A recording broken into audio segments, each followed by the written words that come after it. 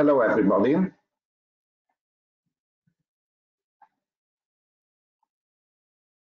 Hello, everybody Hello. at uh, CIFI's webinar in uh, glaucoma. My name is Gabriel Vulpe, Marketing Manager at CIFI Romania. And I welcome our speakers, Associate Professor Christopher Tang from Yale University, USA, and uh, Associate Professor Vasile Potop from Carol Davila University, Bucharest. I will now switch uh, to Romanian in order to make an introduction and to explain the functionalities of uh, this webinar platform to our attendees. Bună ziua, bună ziua din nou și bine ați venit la acest uh, webinar organizat de TIFI. Uh, acesta este deja al doilea webinar organizat de noi în această perioadă, dar în mod evident nu și ultimul. SIFI Academy este un uh, proiect care a început deja din octombrie anul trecut și care a continuat cu simpozioane pe diverse teme din arii de interes uh, oftalmologic. După cum se vede, biometrie, diabet, refracție, urgențe, corneal topography in clinical practice, care a fost acum două săptămâni și acum Navigating the Glaucoma Challenge. Uh, din cauza pandemiei am fost forțat să mutăm Academia SIFI online și o vom uh, continua astfel până când uh, se vor putea organiza simpozioanele și cursurile și fizic. Astfel, pentru următoarea perioadă avem o activitate foarte intensă organizând webinare din 3 în 3 zile. Vă prezint uh, programul de webinare pentru perioada următoare, urmând ca linkurile de participare să le primiți pe mail și pe WhatsApp. Echipa SIFI, după cum bine știți, uh, are o vechime considerabilă.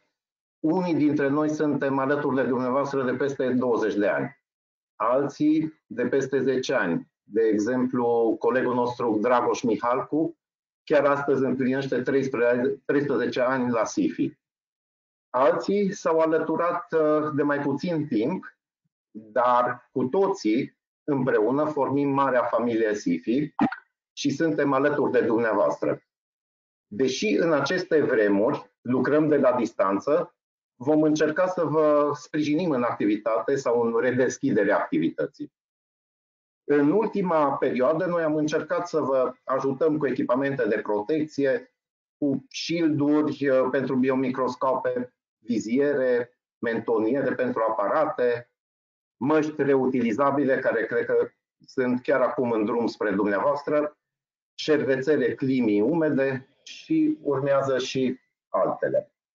La sfârșitul webinarului veți primi un formular cu trei puncte de completat vă rugăm ca, în afara sugestiilor pentru următoarele teme de webinarii, să ne scrieți și ce alte materiale v-ar fi de folos și în măsura posibilităților vom încerca să vă ajutăm.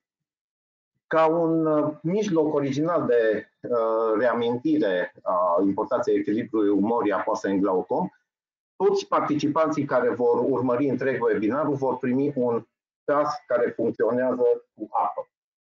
Și acum uh, dau cuvântul colegului meu, Daniel Dumănescu, uh, care este product manager la City, să vă dea câteva amănunte despre folosirea acestei platforme.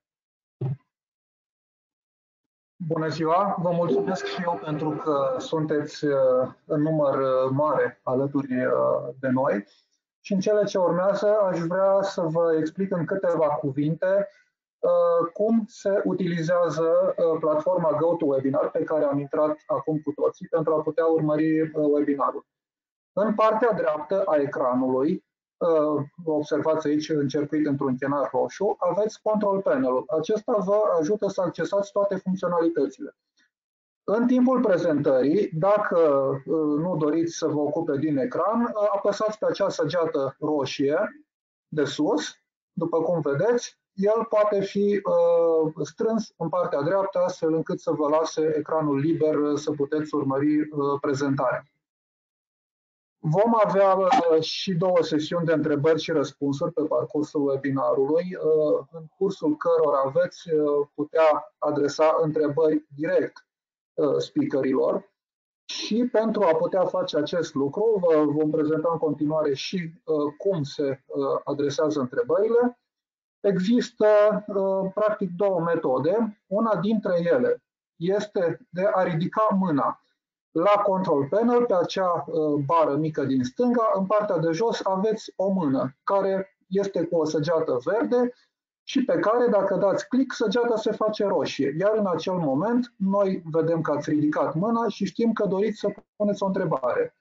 În momentul în care se va ajunge la sesiunea uh, de răspunsuri, în sesiunea în care speakerii vă răspund la întrebări, noi vă vom anunța, vom spune doctor X poate acum să uh, pună întrebarea, iar dumneavoastră vă vom da dreptul să vă auziți, să vă porniți microfonul și dumneavoastră pe noastră să vă rugăm să apăsați butonul de microfon, cel către care vedeți că arată acea săgeată din uh, acest slide, și să vă asigurați vă că este verde înainte de a vorbi, ca să, uh, pentru ca speakerii să vă poată auzi întrebările. În afară de această metodă de a ridica mâinile, tot în Control Panel mai aveți și secțiunea de Questions, unde, dacă doriți, puteți adresa întrebări în scris oricând pe uh, parcursul uh, webinarului, iar uh, speakerii vă vor răspunde la aceste întrebări în cursul sesiunilor de răspunsuri de care aminteam mai devreme. Deci, nu uitați, aveți posibilitatea de a ridica mâna, aveți posibilitatea de a ne scrie. Vă rugăm, întrebați-ne tot ceea ce doriți. Este ceea ce ne dorim și noi este ca acest simpozion să fie cât mai interactiv și faptul că suntem departe fizic și fiecare în spatele unui ecran uh, trebuie să fie ultimul lucru la care să ne gândim și să ne simțim toți aproape unii de alții, să interacționăm, poate chiar și mai mult decât am face-o în cadrul unui simpozion fizic cu toată lumea într-o sală. Uh, de asemenea, vor mai fi două uh, secțiuni cu întrebări, cu răspunsuri multiple, întrebări adresate dumneavoastră, întrebări care evident se referă la ceea ce se va prezenta. În cadrul acestora puteți să vă trimiteți răspunsurile, iar uh, speakerii, desigur, vor comenta pe baza procentajelor în care s-a răspuns, vor comenta răspunsurile dumneavoastră pentru a Uh, lămuri și mai mult uh, aspectele abordate în acele întrebări. Aceasta este o mostră uh, de întrebare. În acest fel veți vedea întrebările, bifați ce răspuns considerați că este corect și veți avea acolo un buton cu votează și cam aceasta este tot ce trebuie făcut, e cât se poate de simplu. Acestea fiind spuse, Aici puteți vedea pe scurt uh, desfășurătorul a ceea ce urmează să vă oferim uh, pe parcursul acestui webinar și vom da acum uh, cuvântul domnului conferențiar Christopher Teng.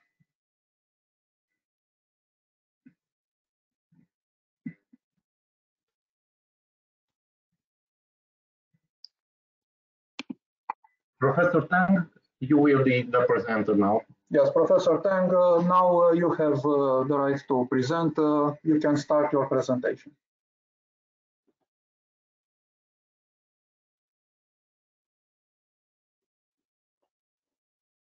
Uh, please make sure that your uh, microphone is on. Okay, thank you. Okay. Thank you for joining us today. My name is Chris Tang. I'm the director of glaucoma at Yale University in Connecticut in the United States, and it's an honor to be here today with everyone. And thank you, CFI, for putting on this fantastic webinar. I was sad because I was supposed to be in Brasov in March, and due to this situation, I was unable to go, but I'm so happy to be able to be with your with you today. I'm going to first talk about neuroprotection. Now we have a great symposium today with Dr. Patov.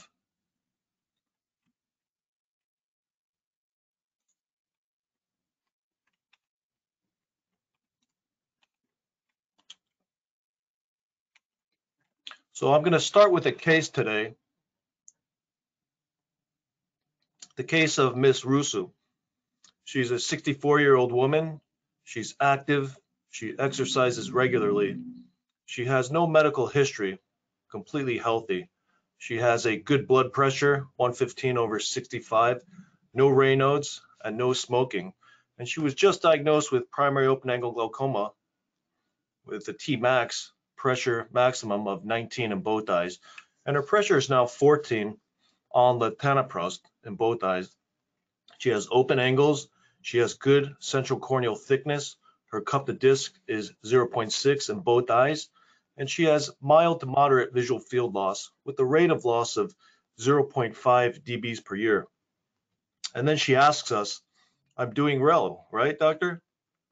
Well, you think about her current state, and given her relatively young age and long life expectancy, she may be 10% through the clinical glaucoma treatment process and could possibly live until age 90. But given her rate of loss, how well is she actually doing? We all know our patients are getting worse. It's all about the rate of loss and rate of change. Glaucoma patients need to be treated to prevent progression, but even if they are treated, they often still progress over time.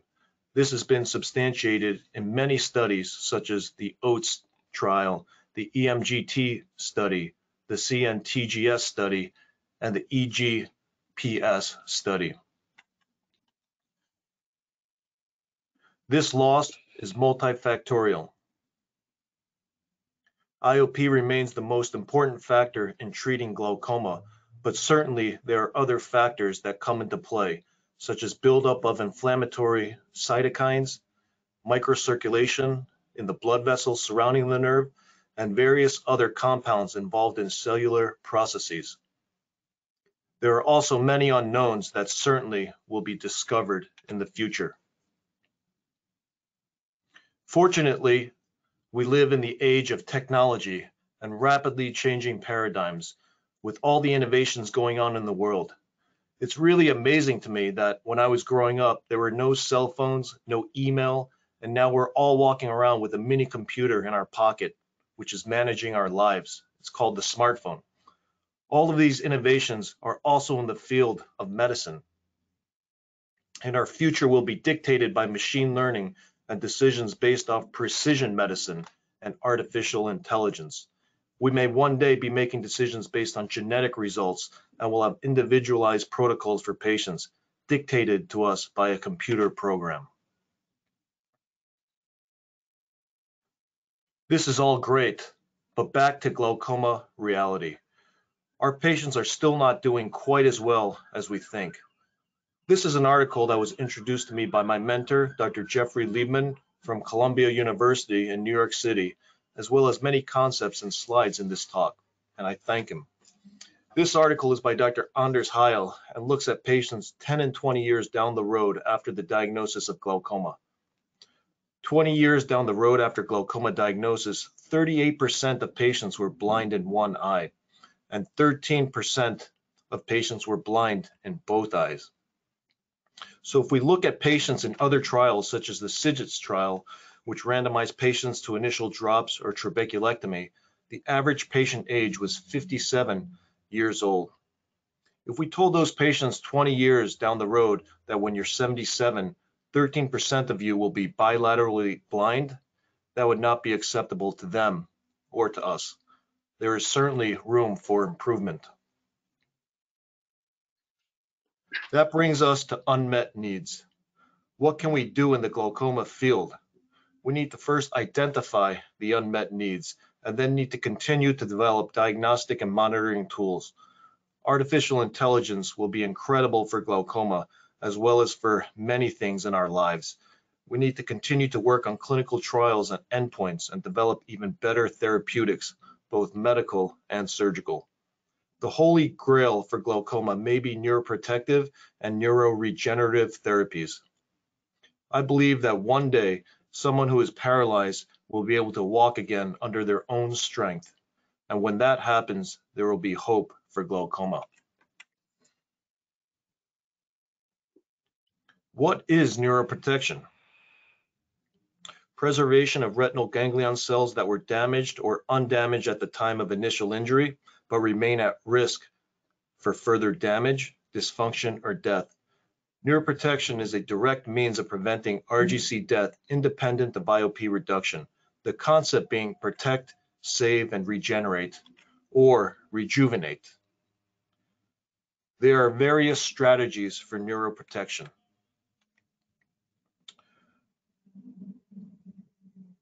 To enhance survival signals and pathways, inhibit cell death, signals and pathways, and to regenerate and rejuvenate the optic nerve.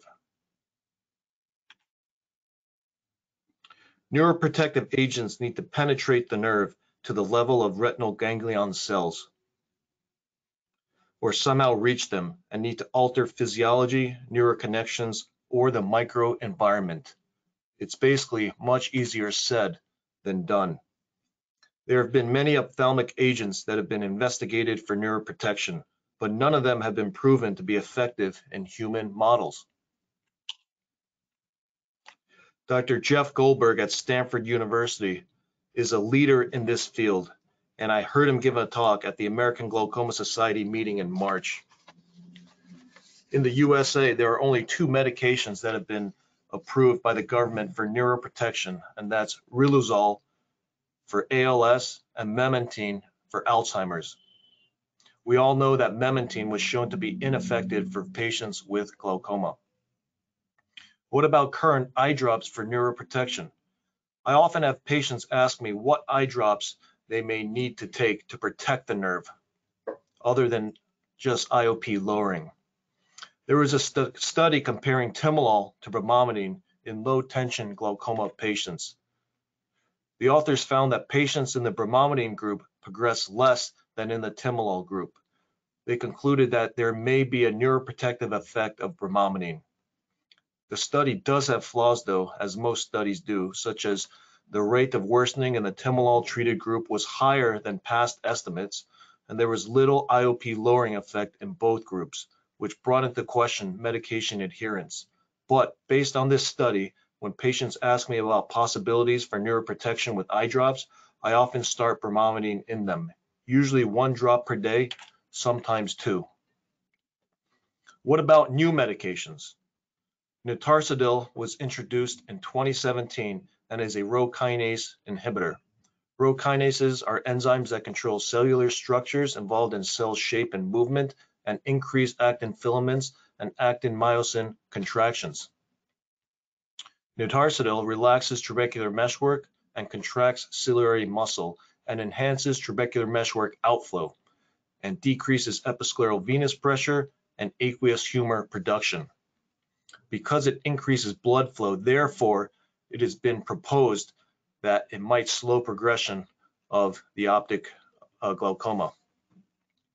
And when Jeff Goldberg came to Yale to speak two years ago, I asked him what drops could we possibly use for neuroprotection, and it was bromometine and notarsadil. What about other treatments other than IOP lowering eye drops? Ginkgo biloba has been around for thousands of years and is a living fossil, and it's been around in Asian medicine since for thousands of years. And it protects against free radical damage and lipid peroxidation and is neuroprotective in many animal models.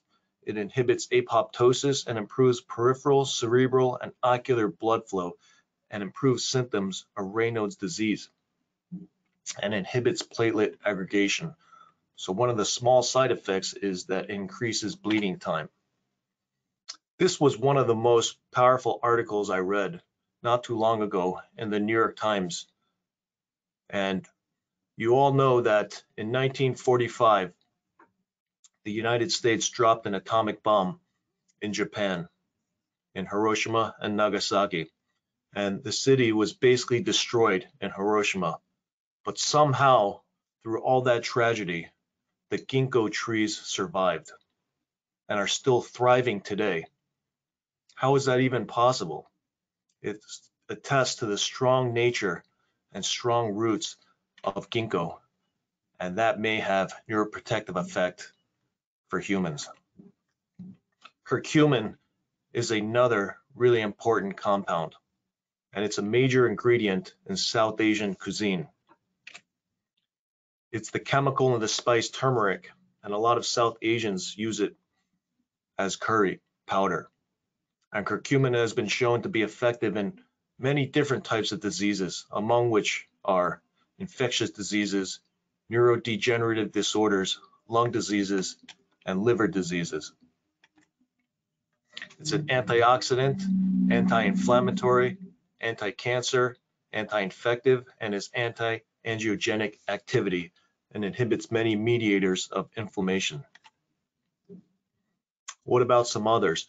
Resveratrol is something that shows up in European cuisine a lot, and it's a sirtuin, which act as regulators of programmed cell death and differentiation. And it's found in red wine, and it has antioxidant and anti-apoptotic activity. There's something called the French mm. paradox, which is why did French people, why were they shown to have a decreased risk of cardiac events? And it was postulated that it might be due to resveratrol, which has all these powerful properties, despite the fact that the French had a relatively high fatty diet in using a lot of butter and so and so. Another one that's popular is the goji berry, also called wolfberry. And this has been shown to have antioxidant, hepatoprotective, and neuroprotective properties. And I actually have goji berry in my house that I often put in hot water and its dry form like that is in that top picture and then it reconstitutes and becomes soft and tastes quite nice. Epigallocatechin gallate is another natural compound and a high amount is found in green tea, white tea, and black tea. It's a powerful antioxidant with suggested neuroprotective action and may be favorable for retinal function. In experimental models, it's been shown to have a reduction in the number of tunnel positive cells, which is a specific characteristic of apoptosis. This is available via a tablet called Epinerve. Citicoline is another compound that is able to increase the level of neurotransmitters in the central nervous system. And we'll hear about that more.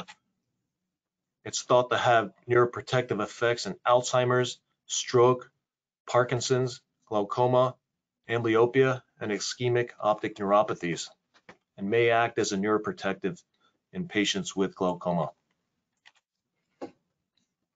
The incredible Dr. Harry Quigley from Johns Hopkins published a great paper about neuroprotection and the number of patients needed to do a trial. He reviewed the issues that affect development of neuroprotective agents and the barriers to trials. He calculated that these trials could be done with hundreds of patients, not thousands, and are achievable. So if we look back to Ms. Rusu, she developed glaucoma in her 60s, and now she's struggling. She may have 30 more years to live. She most likely needs better pressure lowering and will likely get more medications and may need laser or surgery. But should her focus be from the time she was diagnosed into her future? She certainly she certainly needs IOP control and neuroprotection. But what about the previous 60 years? Maybe certain agents could be introduced earlier to prevent the damage that we see today. Yes, we have IOP drops, but one day we may have neuroprotective drops or some other form of protective and regenerative treatment.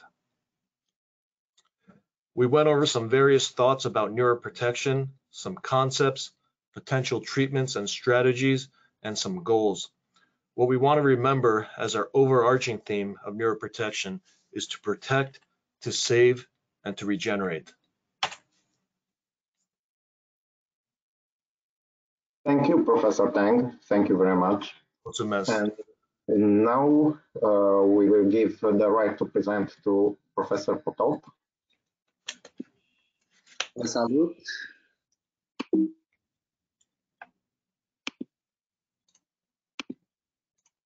Mă vedeți, da? Vă salut pe toți și mulțumesc firmei Sifi, care de regulă obișnuia să ne scoată undeva. De data aceasta ne-a adunat în fața ecranelor și începe un nou mod de comunicare viața online.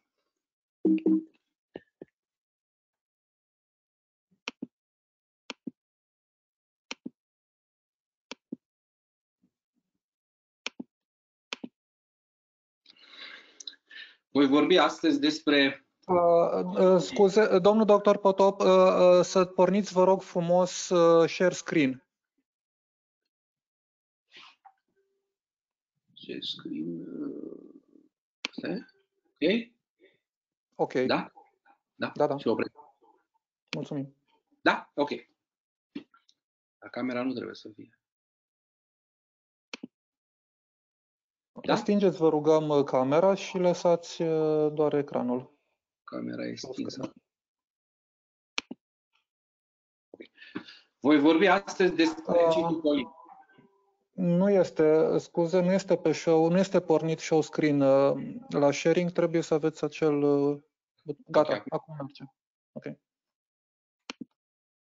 Voi vorbi astăzi despre citicolină. Dacă antevorbitorul meu a vorbit uh, despre neuroprotecție, eu voi încerca să urmăresc uh, traseul unei substanțe care își, promute, care își propune un scop foarte înalt, și anume neuroprotecția. Nu vorbesc uh, despre acest subiect nici de ex, din experiență proprie, nici din proprie convingere, ci din uh, ascultare, să spunem așa, încercând să văd ce au făcut alții și încercând împreună cu dumneavoastră să urmărim uh, parcursul unei substanțe care încearcă să schimbe puțin paradigma în glaucom. Am crezut, sincer să fiu, mult timp că a vorbi despre neuroprotecție în glaucom este o utopie. Utopia este o dezertare din realitate. Dar uh, dacă urmărim cu atenție glaucoamele, vedem că este foarte mult loc pentru această utopie. Pentru că unul din cinci glaucoame, șase glaucome în 20 de ani vorbesc. La ora actuală, tot tratamentul glaucomului se învârte în jurul presiunii intraoculare. Dar faptul că nu putem să stăpânim toate cazurile de glaucom prin această modalitate ne face să îndrăznim mai mult și asta este o mare îndrăzneală, să te amesteci în jocurile morții celulare, dar să știți că viața întotdeauna îi ajută pe cei care îndrăznesc. Și dacă ați observat cu atenție, multe din preparatele naturale care se folosesc în neuroprotecție iau din viață plante care rezistă în condiții extraordinare, cum am amintit de ginkgo biloba, sau dacă studiați celelalte plante, să vedeți că trăiesc în condiții de viață în care alte plante n-ar putea să reziste. Această mare îndrăzneală și experiență sper să ne ducă în altă zonă. Noi deja facem neuroprotecție în glaucom prin scăderea presiunii intraoculare, pentru că aceasta este neuroprotecție, scăderea presiunii intraoculare. Dar neuroprotecția se referă la alte metode care previn moartea celulelor ganglionare retiniene în afara scăderii presiunii intraoculare. O celulă nervoasă poate să sufere din două tipuri de agresiuni. Una, în modul în care este agresat, în momentul în care este agresat pericarionul, îi dai șarpelui în cap și moare imediat. Aici celula moare în 45-90 de minute. Acesta este intervalul pe care îl avem la dispoziție în o serie de afecțiuni acute, cum ar fi obstrucția de arteră centrală a retinei sau în glaucoame acute, secundare de multe ori, sau, în aceste, sau este vorba de o suferință care începe la nivelul axonului, moment care determină o moarte prelungită, lentă, cu reducerea ariei dendritice a neuronului, cu scăderea dimensiunilor sale, scăderea sinapselor. Glaucoma este acest tip de boală. Este o boală, este o axonopatie. Leziunea începe inițial la nivelul capului nervului optic, și se extinde atât la pericarion, cât și la restul axonului sub forma unei degradări valeriane. Mai mult decât atât, sunt studii experimentale care au arătat că în glaucom leziunea nu se limitează numai la nivelul celulelor ganglionare retiniene, ci se extinde și la celelalte etaje ale sistemului vizual, corpii geniculari laterali și chiar arile optice occipitare. În aceste locuri există o suferință pe care mijloacele actuale nu pot să o pună în evidență. Nu putem prin mijloace imagistice actuale să vedem astfel de leziuni. Însă, unele tehnici de investigație pe scară mai mică, cum ar fi, de exemplu, uh, tomografia cu emisie de pozitroni, poate să ne arate și cu glucoză marcată radioactiv. Glucoza este captată de celule vii. Poate să ne arate, de exemplu, vedeți această imagine pe care am găsit-o și eu, uh, la o femeie de 58 de ani, uh, care a suferit un glaucom secundar, la care vederea era scăzută, zone din cortexul occipital care nu mai captează glucoză. Există și dovezi histologice și sunt cunoscute studiile profesorului Nero Gupta în Canada. La pacienți care aveau glaucom și care au decedat de alte cauze, s-au văzut la examene anatomopatologice atrofii pronunțate ale nervului optic, atrofii la nivelul corpilor geniculares lateral și atrofii la nivelul arilor optice corespondente. În momentul în care se pornește cu un medicament neuroprotectiv, trebuie să avem câteva repere pe care trebuie să le urmăm. În primul rând, să ne găsim o celulă țintă, cazul nostru celule ganglionare retinie, să dovedim în laborator un mecanism prin care substanța respectivă poate să interfere cu moartea celulară substanța respectivă să fie accesibilă, să aibă acces în zona respectivă și, în ultima instanță și cel mai greu de dovedit, studii clinice care se arată că substanța respectivă nu este periculoasă, este eficientă și merge în tratament. Aceste medicamente pleacă de la niște modele de glaucom. Nu încep studiile pe oameni. Avem mai multe tipuri de modele de glaucom. Avem modele in vitro și modele in vivo. Avem modele in vitro din ce în ce se tinde și din motive economice, din motive etice spre simplificat. Avem modele în vivo pe linii celulare, linii celulare de celule ganglionare imortalizate, linii de celulare pe culturi de celule ganglionare, linii induse de celule stem. Avem în vivo momente de pe primate, momente pe rozătoare. Avem modele de boală indus. De ce prezint aceste lucruri? Pentru a vedea cât de, ce înseamnă o translație de la astfel de modele și de studii experimentale la boala reală, care ați văzut că se întinde de la ochi până la nivelul creierului. Avem modele de boală induse prin creșterea presiunii intraoculare la animal, cu bile de ceva să crească scurgerea apoasă sau prin distrugerea nervului optic, derivă efectul de, de strivire sau transecțiune și vedem modul în care celula respectivă reacționează. Aceste studii au și puncte puternice și puncte slabe. De exemplu, celulele, cultura de celule este foarte utilă pentru că este foarte accesibilă, de rezultate imediate, vedem mecanismele, dar uh, există diferențe foarte mari între aceste leziuni și leziunile din glaucom. De asemenea, aceste glaucome nu pot să reproducă să boala de la om, iar studiile pe primate, care ar fi cele mai apropiate, sunt, uh, la ora actuală, nu se mai fac. Există foarte multe tipuri de factori neurotrofici sau de neuroprotecție. Voi menționa doar două categorii în relație cu preparatul pe care, cu medicamentul pe care îl prezint astăzi. Există factori neurotrofici. Celulele nervoase se ajută între ele. Celulele nervoase au factori de creștere și sper ca de la acești factori să obținem un mare suport în viitor, pentru că aceștia pot fi produși pe cale genetică, la fel cum avem avastinul sau preparatele pe care le folosim astăzi în bolile retiniene, putem, poate în viitor să avem și astfel de factori care să conțină fie factori brain-derived neurotrophy factor de fibroblast din corpul ciliar, din celulele biliale sau celulele STEM care au factor uh, neurotrofic sau celulele mezenchimale sau celulele embrion uman, dar acestea nu prea îndeplinesc condițiile etice. Există o neuroprotecție bioenergetică. Calea vizuală nu este o cale ieftină din punct de vedere energetic. Este o cale cu costuri metabolice mari. De exemplu, pentru un simplu semnal luminos se consumă 106-107 molecule de ATP. La nivelul celulelor ganglionare retiniene care suferă, s-a observat o serie de disfuncții mitocondriale. Ori mitocondria este o uzină energetică a celulei. De aceea, o susținere bioenergetică este un punct de sprijinire a unei neuroprotecții. Ce face citicolina? Citicolina este o piesă mică, o rotiță mică într-un mecanism foarte mare și foarte complex pe care încercăm să-l punem în funcțiune.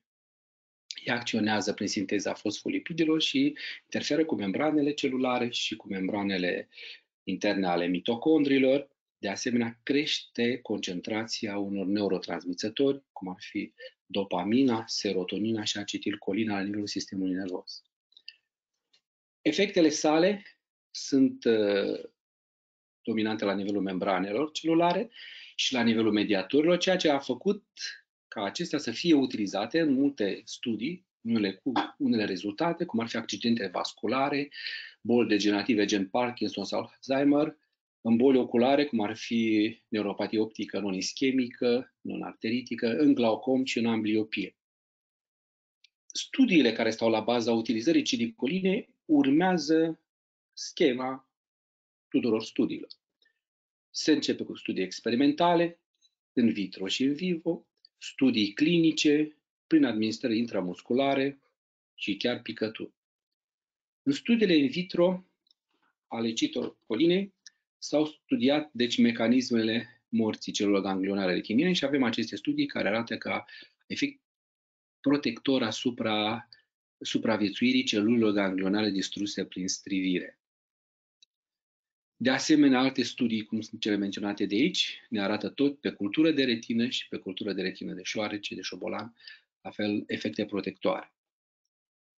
Să fac și studii în vivo pe animale și vedem uh, la șobolan citicolina cu litium, aceasta este rata de supraviețuire după uh, strivirea nervului optic a avut o rată foarte mare de supraviețuire celulele care au fost, animalele care au fost, care au primit litiu și citicolin. S-au văzut și aceste studii făcute pe anatomopatologice, s-a introdus neurotoxicitate și atunci s-a observat aceasta este retina animalului înainte, după ce s-a introdus neuro, înainte de neurotoxicitate, aici neprotejată și aici protejată cu citicoline și s-a observat efectul de protecție al citicolinii. S-au făcut și studii pe glaucom și s-a observat că citicolina crește la iepure conținutul de dopamină în terminațiile nervoase. Sunt multe studii făcute pe animale și anume studii făcute pe expand retinian, pe strivire de nerv optic, pe, pe cultură de embrioni și toate au avut efecte de protecție. S-a utilizat chiar citicolina în model experimental de accident vascular. Și aici sunt mai multe studii, sunt foarte multe studii uh, și s-a observat că au efect mai mult pe refacerea după accidentul vascular. În bolile degenerative s-au efectuat o serie de studii. Foarte câteva studii sunt despre citicolină în ambliopie în ambliopie după metodele obișnuite de tratament al ambliopiei și uneori chiar după trecerea perioadei de recuperare ambliopică, s-a observat, vedeți în acest studiu, o îmbunătățire a acuității vizuale și a sensibilității de contrast și a potențialului evocat. Citicolina a fost studiată și în boli ale retinei. Este un studiu, parisii de fapt apar în mai multe studii, Pacienții cu arterită, neuropatie optică non-arteritică, s-a observat o îmbunătățire a funcțiilor vizuale la acești pacienți. Datorită faptului că interfera cu recaptarea, creșterea recaptării dopaminei la nivelul terminațiilor nervoase. Acum, modalitățile de tratament ale citicolinei. S-au făcut studii cu citicolină administrată intramuscular. Și avem aici gradul de reducere a scotomului pe câmp vizual. Ceea ce este foarte important, multe din aceste studii sunt pe neurofiziologie. De ce sunt pe neurofiziologie?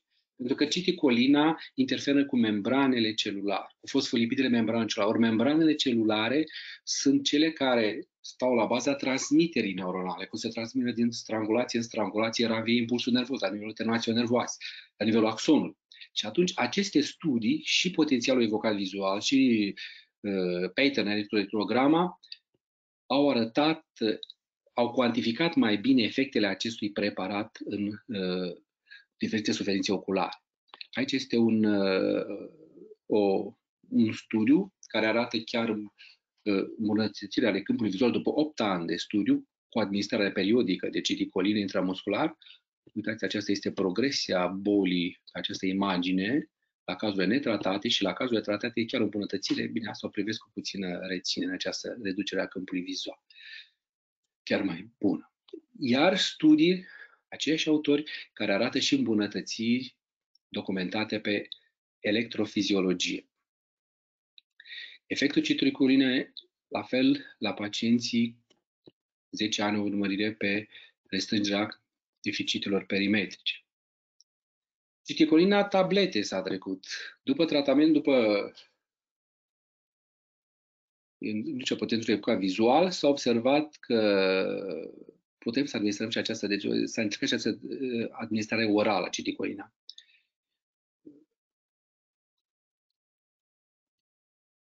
Mai mult decât atât, sunt studii care arată citicolina, uh, efectul citicolinei sub formă de picături.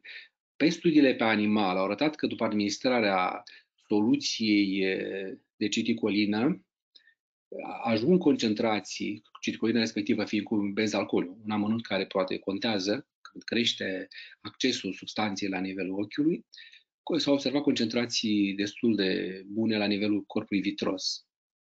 De asemenea, aici studiile pe oameni au arătat că nu există diferențe între citicolina administrată intramuscular și citicolina pe cale orală. Iar și un studiu cu citicolina administrată de trei ori pe zi. Sunt trei verigi prin care noi putem să accesăm neuroprotecția în glaucom. E să protejăm a priori că înainte de apărea amenințarea sau leziunile celulare, celulele care nu au fost afectate, fie să salvăm celulele în momentul în care a survenit uh, leziuni, au survenit leziuni inițiale, fie să regenerăm axoni care sunt foarte sever afectați. Citicolina poate să joace un rol doar în a doua situație. Problema este alta. Problema este cum putem noi transla rezultatele de la studiile acestea experimentale și mai ales de la studii în vitro sau studii în vivo, la animal, la complexitatea glaucomului întins de la, cu leziuni întinse de la celulele ganglionare retiniene până la nivelul arilor corticale occipitale. Există nu există studii clinice care să probeze neuroprotecția în glaucom, pentru că e greu să găsești, glaucomul nu e o boală monovalentă, știu eu, cum ar fi gen boală carențială, ca să-i dai un tratament și să rezolvi problema bolii. Pe de altă parte, chiar dacă ai, ai interfera cu leziuni și cu un efect clar, relația structură-funcție în glaucom este o relație care are o anumită latență și noi de, pe studii ar trebui să determinăm un efect, să, să descoperim un efect rapid. În plus, vedeți, multe studii se bazează pe, pe realul clinice, pe rezultate funcționale, iar între structură și funcție iarăși este o relație foarte laxă. De aceea este, ar fi nevoie de alte, alte alți parametri. În, în citicoline sunt parametri electrofiziologici, dar parametrii electrofiziologici nu sunt astăzi chiar atât de bine acceptați. Alt, ce, altă demonstra, e greu să demonstrezi în general progresia glaucomei cu orice fel de parametru. De exemplu, studiile pe care ne bazăm noi au luat ca parametru parametru surogat presiune intraocular. Neuroprotecția deci este greu de, de cuantificat. De ce? Pentru că uh, factorii de risc care fac ca boala să progreseze pot fi multipli, genetici, mecanici, biochimici, hemoreologici și mai important decât atât, există un joc al acestor factori care face ca boala să progreseze. De aceea cred că astăzi ne situăm undeva în uh, tratamentul glaucomului încă într-o perioadă nu suficient de avansată. Putem să ne considerăm că noi suntem astăzi în faza în care uh, nu cunoșteam mecanismele hemostazei și știam, de exemplu, în glaucom este neuropatie optică glaucomatoasă, știm că duce la progresia nervului, dar nu cunoaștem mecanisme în detaliu. Lucrul ăsta nu se cunoștea nici atunci. Mai știm că în glaucom, dacă decomprimăm ochiul, deci dacă scădem presiunea intraoculară, boala frânează. La fel, la început, când nu se cunoștea hemostaza, se știa că dacă pui apeși cu degetul pe o arteră, oprești hemoragia. Însă, între momentul inițial al disfuncției și apoptoză există un lanț foarte mare, o succesiune foarte mare de modificări pe care nu le cunoaștem în detaliu. Este la fel cum se întâmplă și în hemostază. Sunt cei 12 factori de coagulare și reacții în cascadă care se petrec acolo. Dacă noi nu avem o coagulopatie și coagularea nu se desfășoară normal, degeaba apăsăm cu degetul pe rană pentru că vom avea o hemoragie persistentă. În unele forme de glaucom, chiar dacă scădem presiunea intraoculară, boala continuă să progreseze. Neuroprotecția poate să fie un teren de acțiune și să deschidă noi oportunități în glaucom. Deocamdată tatonăm. Coagulopatiile se cunosc la ora actuală și pot fi foarte ușor tratate suplinind factorul care lipsește. Noi suntem într-o perioadă în glaucom când nu cunoaștem succesiunea exactă de factori. Dacă nu tratăm coagulopatia, se pierde foarte mult sânge. În perioada noastră, fără să vrem, pierdem și noi foarte multă vedere. De aceea, citicolina este o piesă mică într-un puzzle foarte mare. Ea intervine în funcția mitocondrială. Neuroprotecția este utilă din momentul în care începe leziunea și până când survine apoptoza. Este greu, avem multe dificultăți pentru că nu știm când începe leziunea, iar când descoperim, de regulă este foarte târziu. Citiculina joacă până atunci rolul de o piesă într-un puzzle, dar într-un puzzle unele piese, chiar dacă nu completează puzzle-ul, pot fi foarte sugestive pentru imaginea care trebuie să fie de completat. Până atunci, când vom vedea foarte clar ce este cu citicolina, în unele forme de boală care nu pot fi controlate total, mai ales dacă sunt asociate și cu boli degenerative, citicolina poate să fie o metodă de tratament. Vă mulțumesc frumos! Mulțumim și noi uh, pentru această prezentare și uh, tocmai legat de această prezentare, în cele ce urmează vom uh, avea prima sesiune de întrebări adresate către dumneavoastră, către public. Pornim acum cu prima întrebare. Vă rugăm să votați, să ne transmiteți răspunsul dumneavoastră. Așteptăm votul nostru.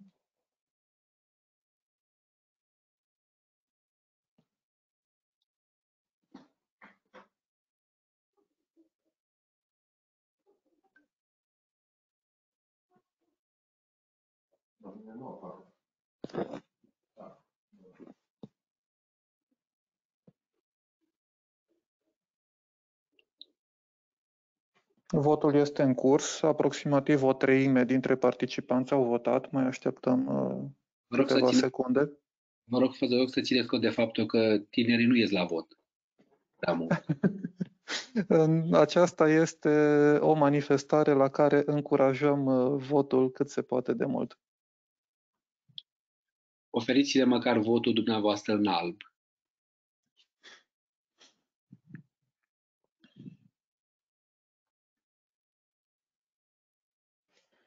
Ok, vom închide acum votarea la această întrebare și acestea sunt răspunsurile. Domnul conferențiar Potop, dacă doriți să comentați răspunsurile. Este un scor foarte bun. pentru partea dreaptă a eșichierului este foarte bine. Ok, mulțumim. Trecem la a doua întrebare.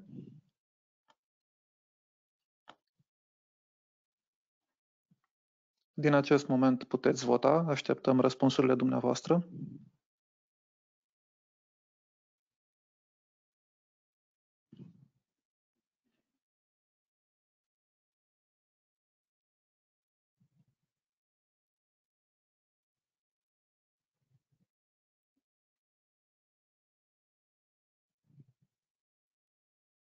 Îi încurajăm și pe cei care s-au abținut de la vot la prima întrebare să-și uh, exprime votul de data aceasta.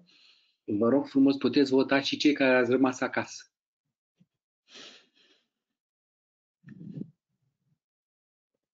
Este cel mai comod și mai la îndemână vot posibil.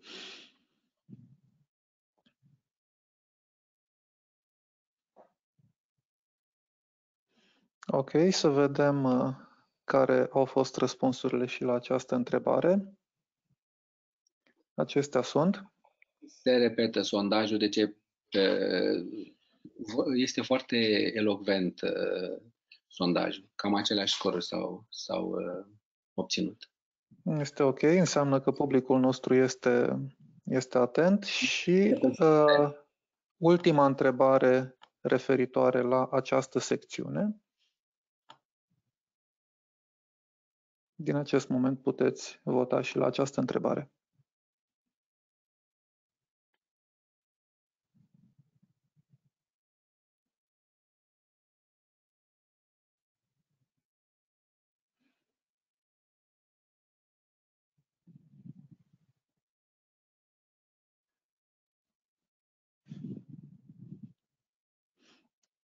Ok, ne bucurăm să vedem că numărul de voturi uh, este mai mare, iar rezultatul îmi permit și eu să spun că este cât se poate de concludent.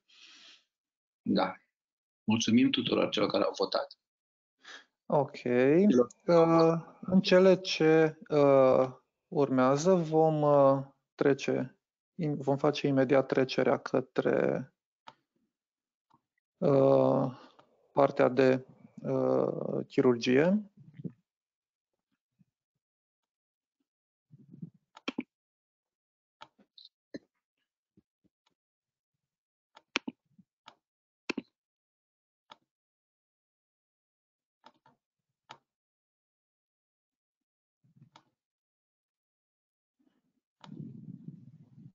chirurgie. poate, da? E imediat, imediat. Eu mi-am pus.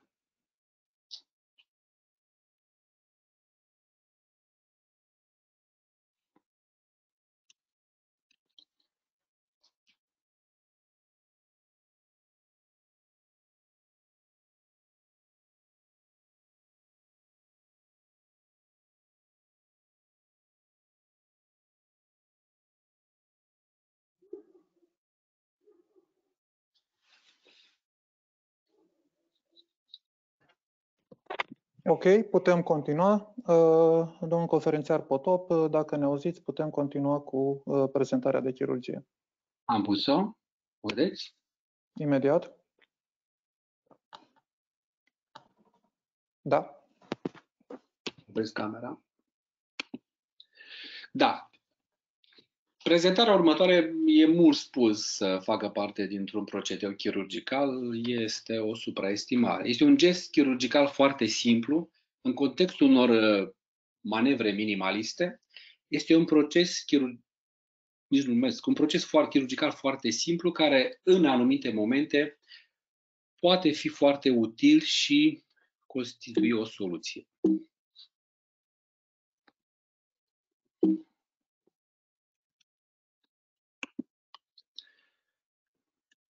Se știe că trabeculectomia rămâne tratamentul chirurgical cel mai radical în glaucom și în ciuda tuturor um, procedeilor foarte moderne și minimaliste, există destule glaucoame a căror tratament uh, îl reprezintă, sau cel mai optim tratament îl reprezintă trabeculectomia. Mă refer la presiunea țintă și la persistența rezultatului. Este o chirurgie paradoxală, chirurgia filtrantă oculară. De ce este paradoxală? Pentru că, în general, un procedeu chirurgical uh, este de succes în momentul în care survine vindecare.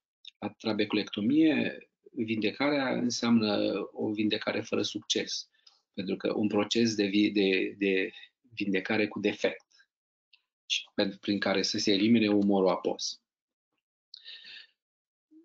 Eșecul unei operații filtrante este o mare problemă din mai multe puncte de vedere și planează asupra fiecare operație pe care o face. El apare datorită în timpul fenomenelor de cicatri, de vindecare la nivelul uh, locului operației și apare datorită fibrozii care implică sclera, episclera, pardon, capsula tenon sau țesutul subconjunctival având ca rezultat creșterea presiunii intraoculare și apariția unei vascularizații. Aceasta survine datorită faptului că de multe ori operația se face tardiv, după ce s-au epuizat tratamente topice prelungite, care au lăsat urme adânci la nivelul suprafeței oculare. Când țesuturile oculare au amorsat în ele fenomene inflamatorii nu latente, fenomene inflamatorii manifeste aflate la maxim, și aceasta face ca uh, operația să se facă pe un ochi amorsat inflamator, iar aceste fenomene inflamatorii să fie și mai accentuate, mai amplificate după operație.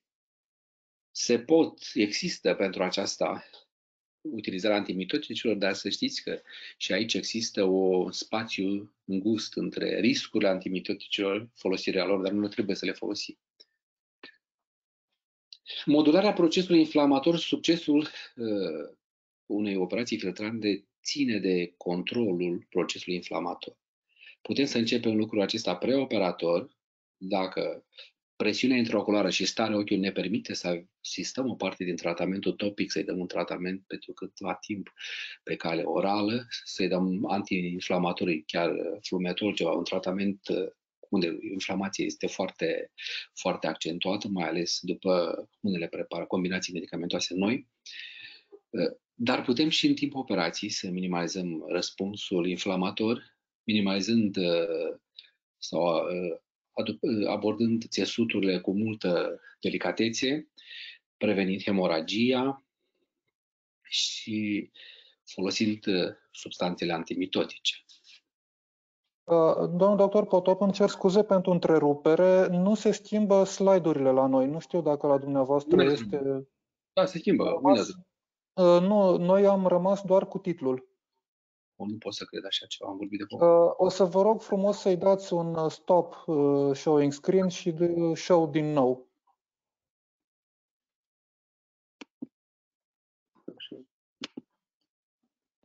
Cum Dumnezeu? Acum? Mm, nu. A rămas tot cu slide-ul de titlu. L-am pornit. Acum da. Acum, okay. acum este slide-ul curent. Păi nu, nu aici.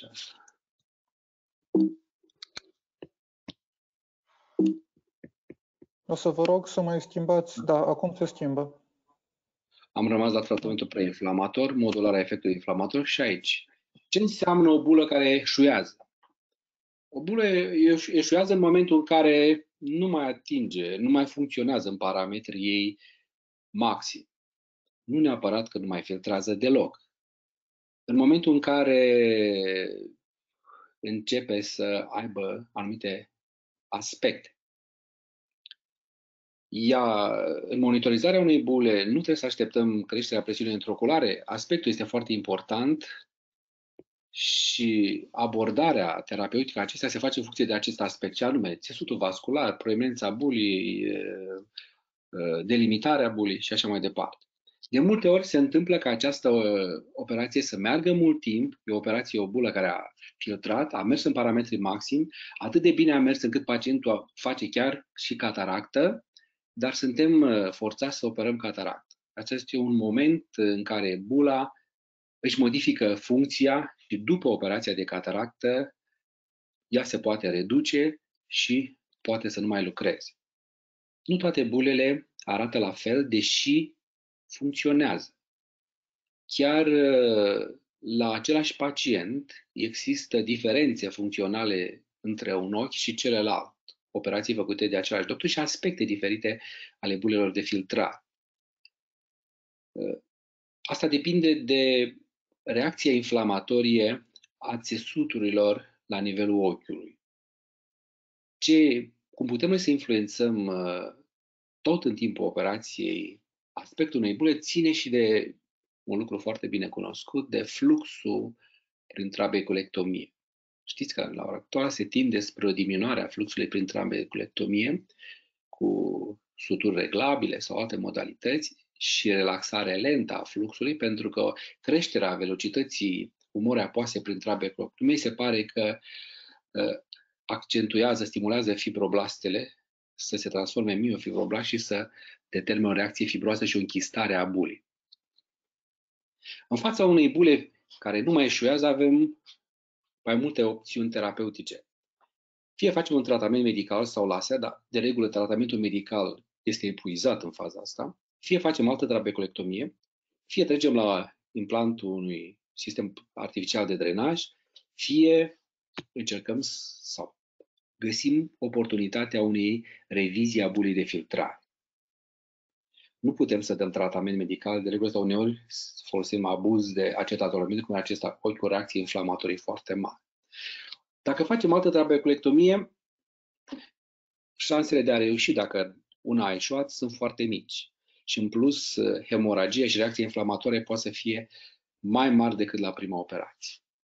Iar sistemele artificiale de drenaj, există așa un miraj, la prima vedere punem o valvă. De, vă prezint acest caz din meu personal, un ochi care arată destul de bine și uitați-vă diferența între cei doi ochi, nu mai țin minte la cât timp s-au avut, 1063 de celule față de 2470. Există o pierdere a celulelor ganglionare fără să atingem cornea a celulelor endoteliale retiniene și am găsit și literatura de specialitate, vedeți, după Valvachmel la 24 ani 18%, după Molteno după 2 ani 12%, după Ahmed trabecolectomie 3%. Aspectul bulei contează foarte mult. Bulele care au relief și sunt încapsulate cu uh, și peretele lor, dacă este transparent, au cea mai bună șansă. Această bulă, această, acest aspect o voi prezenta un film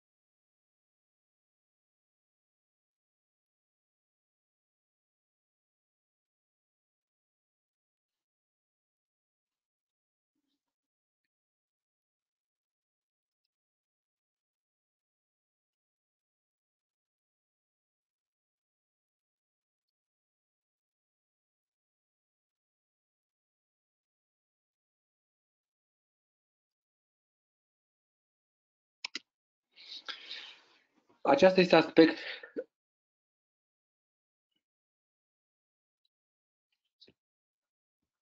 Mă auziți, da?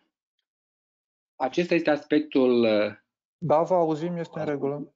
Acest aspectul este a doua zi după operație. Acesta este aspectul înainte de operație. Este vorba de un pacient care a făcut și cataractă la vreo 3 ani de la operație de glaucom, început să scadă tensiunea și a făcut aceasta. Aceasta arată, așa arăta ochiul a doua zi după operație.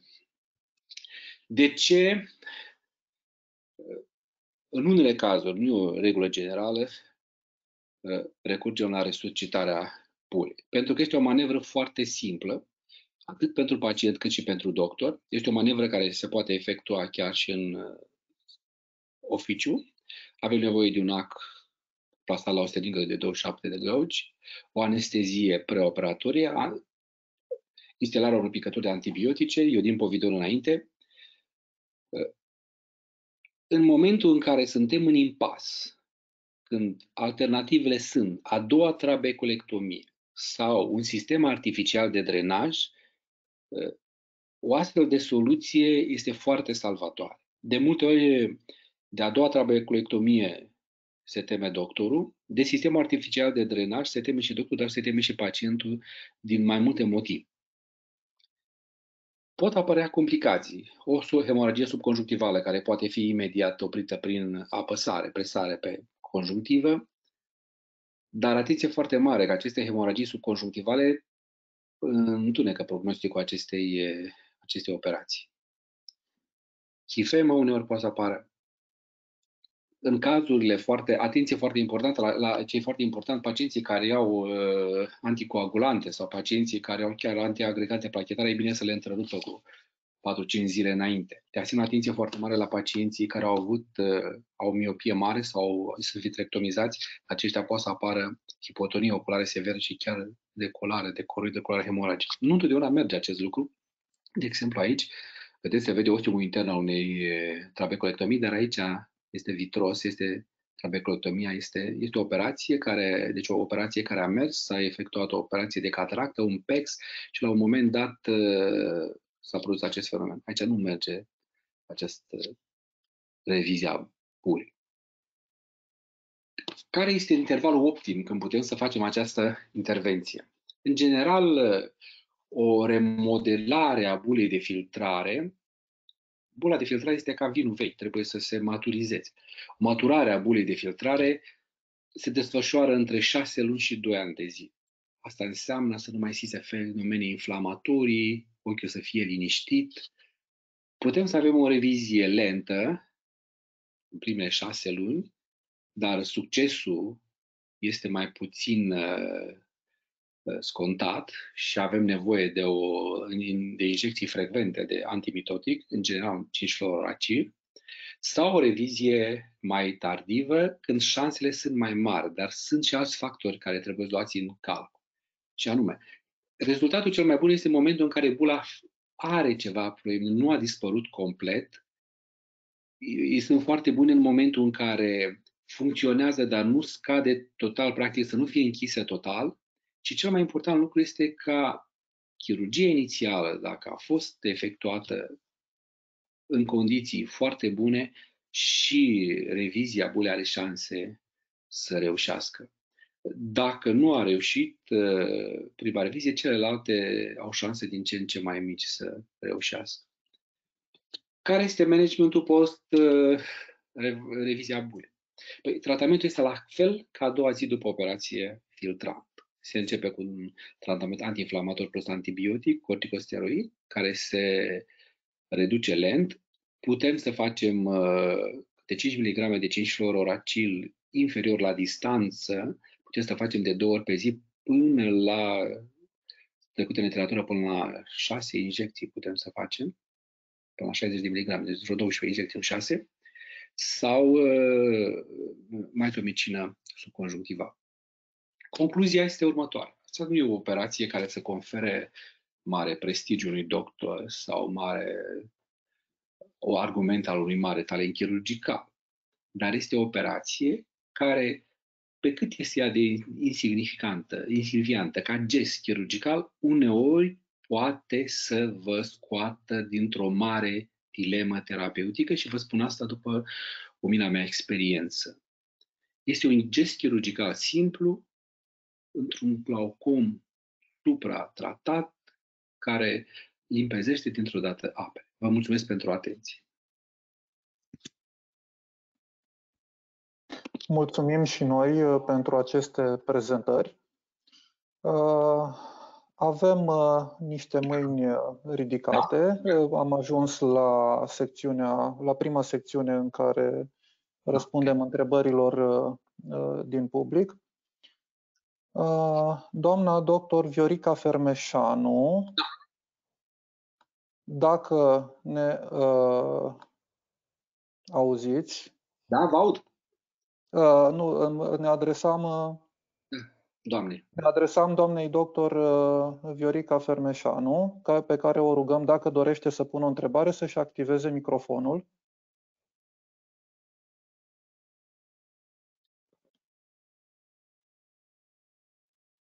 Da, se pare că nu răspunde. Uh, uh, Trecem uh, la doamna doctor Nechita Adina. Doamna doctor uh, Adina Nechita, dacă ne auziți?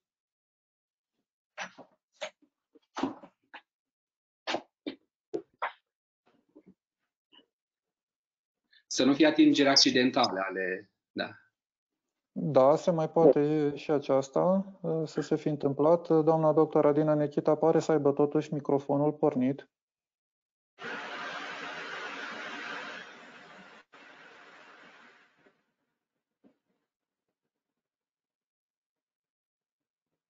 Ok, vom lămuri, vom reveni atunci uh, cu doamna doctor Adina Nechita la a doua sesiune de răspunsuri. Ne lămurim între timp uh, dacă... Uh, ok, vă mulțumim încă o dată pentru aceste prezentări. Uh, vom uh, face imediat uh, uh, trecerea către, uh, către sesiunea de, uh, de chirurgicale.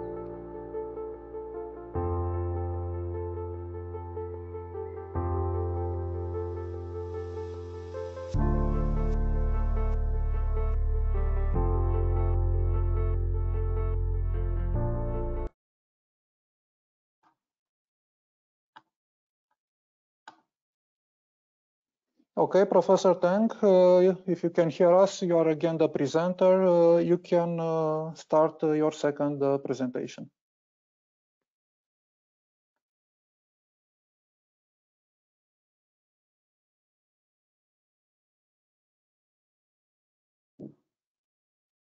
Mulțumesc.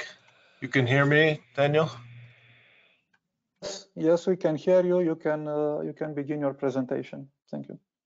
Okay, wonderful talk, Dr. Patov. And I really firmly believe that we should all have a good handle on how to needle the trabeculectomy and revive that because it's better to try to resuscitate the trabeculectomy rather than do a second trabeculectomy or a glaucoma tube implant. Now with the increase in the amount of microinvasive glaucoma surgeries, such as the implantable modified trabeculectomies implants, the needling of a trabeculectomy and bleb is more and more important. So thank you for an excellent talk. Dr. Alina Cherachanu asked me to give a talk on goniotomy and trabeculotomy and came up with a beautiful title called The Poem. So I hope to be a little poetic with this talk. And many of the concepts and surgeries that I, I show here are on YouTube. And I have a YouTube website and it's Glaucoma Vids, V-I-D-S, if you'd like to visit that website. So what is microinvasive glaucoma surgery? The father of MIGS is Ike Ahmed from Canada, and he mentioned five features of MIGS, and that is microincision, minimal trauma, modest to good pressure lowering, high safety profile, and a rapid recovery. There are various MIGS anatomic targets. There's the Schlem's canal by improving outflow. There's the suprachoroidal space by improving outflow through a connection between the anterior chamber and the suprachoroid. There's a subconjunctival space by improving outflow, and there's ciliary body ablation, which thereby decreases the pressure. The internal MIGS procedures are based on this photograph, which is an amazing photograph from Dr. Jackson and Dr. Sears. And that shows us that in this left eye, most of the collector channels are predominantly inferior nasal and drain directly into the episcleral venous plexus. That's why most of the MIGS targets, targeting Schlemm's canal type MIGS, is focused in that nasal area. There are various MIGs that have been developed, as we all know. Trabectome, Cahook blade, GATT, Trab 360, Omni, iStent, Hydrus. That's TM targeting. Schlemm's canal targeting includes the Omni, ABIC, and Hydrus. Suprachoroidal shunts have the iStent Supra that will be coming out soon. And the modified trabeculectomy, we'll call them, have the gel stent and the PreserFlow. We're going to focus on the trabectome, Cahook, and gonioscopy assisted transluminal trabeculotomy, also known as the GATT. Goniotomy means to cut open the trabecular meshwork. And it was first described by Dr. Carlo Di Vincentis in Italy in 1892. He did it without direct visualization of the angle and just sliced in that area. And this was maybe the first MIGS in history. This is the account of the article that I was able to get from the Yale Library, assisted me in getting it. And many of you watching can probably read and understand what this says. And this is the account of the goniotomy from Dr. Di Vincentis in 1892.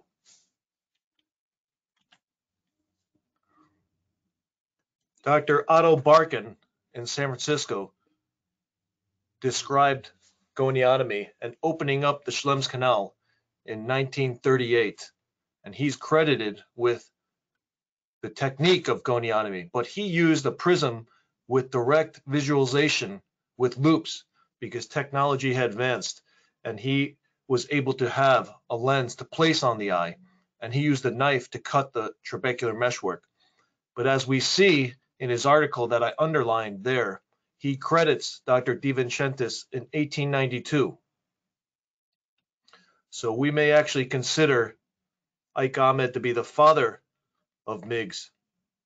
George Barvelt, who invented the trabectome, might be the grandfather of MIGS, and we can call Dr. Di Vincentis the godfather of MIGS. So what is in a name? Why are we calling it goniotomy? In Greek, gonio means an angle, and ptomein means to cut. So Dr. Barkin called it cut the angle goniotomy, but had he called it something different like trabeculotomy, which he was essentially doing to the trabecular meshwork, then he would have changed the course of nomenclature history. But as we have it, it's called goniotomy. And goniotomy over the years was mostly used for congenital glaucoma and aphakic glaucoma, Sturge-Weber, aniridia, neurofibromatosis, Lowe syndrome, Axenfeld-Rieger, uveitic glaucoma. What it wasn't used for so commonly was primary open angle glaucoma.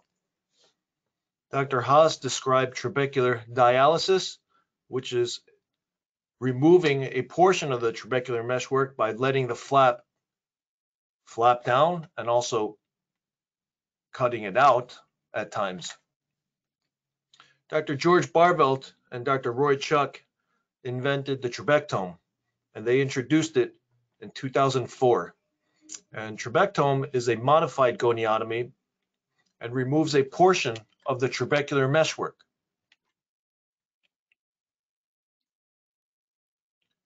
Here's a video using a specimen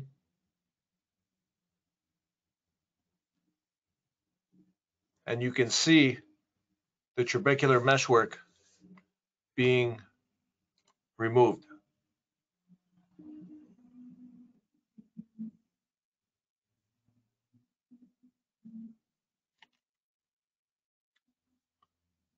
What is the trabectome doing?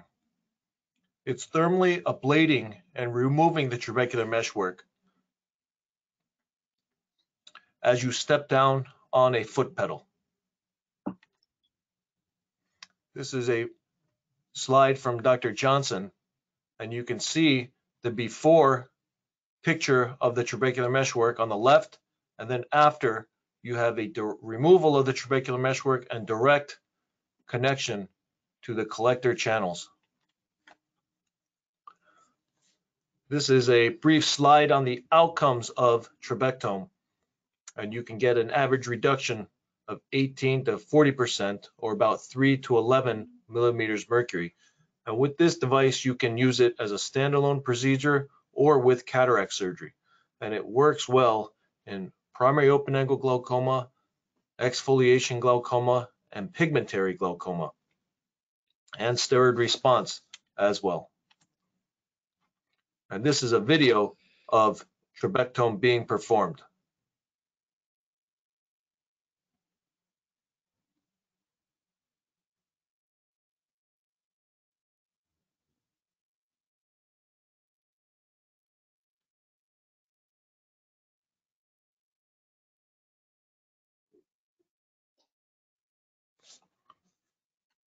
You can see the trabectome is being advanced and ablating the trabecular meshwork. And typically anywhere from 90 degrees to 120 degrees is performed. And you first go in the direction. Most people are right-handed, so you first typically go moving right to left, and then you flip the instrument around to the other side, and you can complete the inferior aspect.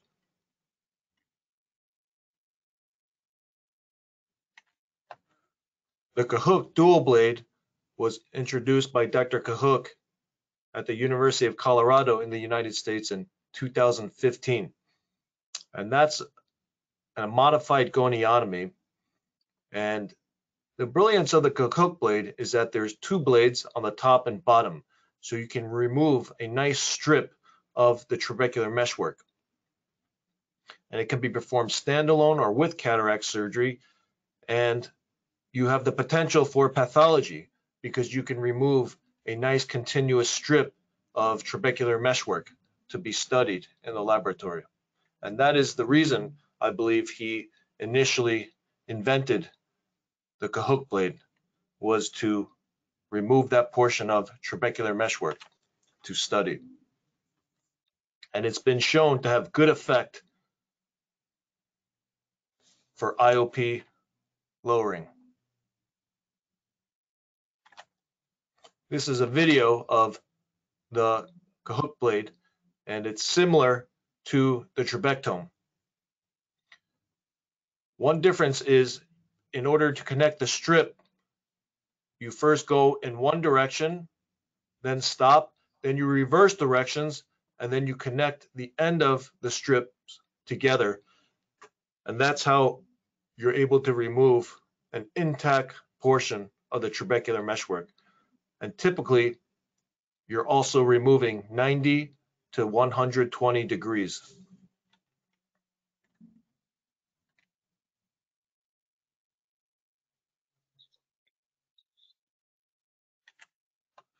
What if you don't have the trabectome or Cahook? Because of price. Trabectome, you have to buy a unit, and then they have the separate handpiece, and Cahook is a specialized blade that you might not be able to have. Goniotomy can still be performed. If you use a paracentesis knife to make your incisions, if it's something like a side port with a blade that's angled, you can straighten the angle of the blade and use that to incise the trabecular meshwork.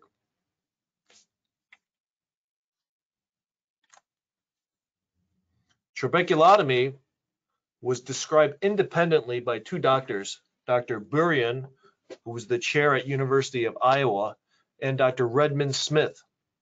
And they had different approaches. And Dr. Burian eventually developed an instrument called the trabeculotome to thread into Schlemm's canal from the external and tear the trabecular meshwork. Dr. Smith described a different technique using an internal suture that he threaded from the outside through incisions and then pulling the incisions, pulling the sutures, which then ripped the trabecular meshwork. And this was really a procedure ahead of his time.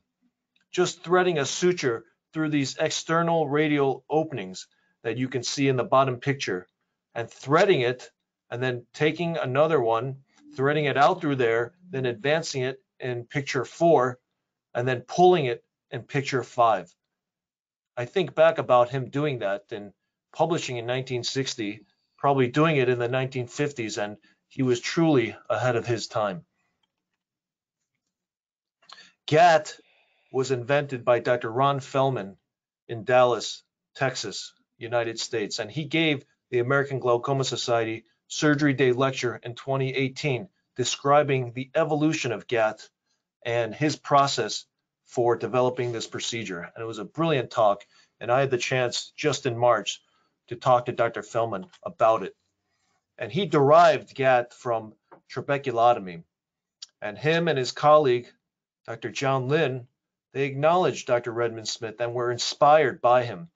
And in 1986, they did the first two-site 360-degree trabeculotomy using 6-0-proline.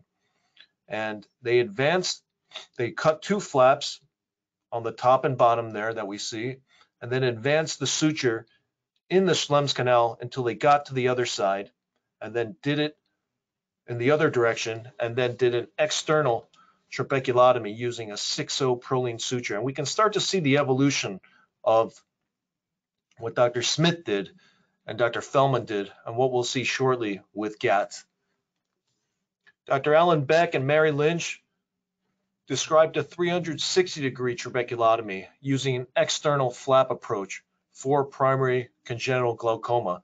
And here we see in this box that they credited Dr. Fellman and Dr. Lin and Dr. Smith for this procedure.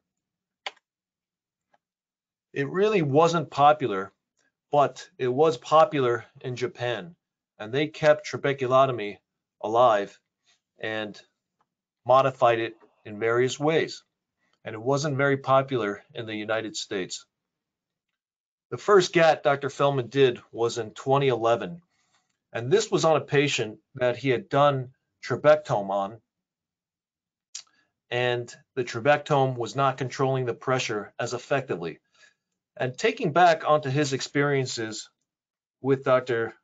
Lin, he thought about why can't I use this trabectome cleft and insert a suture into that cleft and pull essentially doing an internal trabeculotomy. And it might seem obvious now in 2020, but back then in 2011, there's no one else that could have possibly done this procedure because Fellman had all this experience from the 1980s with external trabeculotomy, and he knew the history of what Dr. Redmond Smith was able to achieve in 1960, which is incredible. And him and Dr. Grover published a paper, as well as the other colleagues of theirs, Dr. Godfrey, Dr. Smith, Dr. Foyer, Dr. Deoka, about GATT in 2014. And they used a gonioscope to visualize the angle, and they used an illuminated catheter, which is more straightforward and easier to use than just a Prolene sutures. And they did 85 patients and 57 patients with primary open angle glaucoma they had a really good pressure lowering and a really great decrease in medications. So the brilliance of Fellman is he invented a MIGS by going ab interno using a gonioscope lens and a microforceps. and taught it to his colleague, Dr. Grover, who is the GATT master. A really interesting paper came out in 2019 by Dr. Chang, Dr. Vanner, and Dr. Parrish. And this is what they did. They surveyed the American Glaucoma Society listserv. And this, I'm going to read this section out here.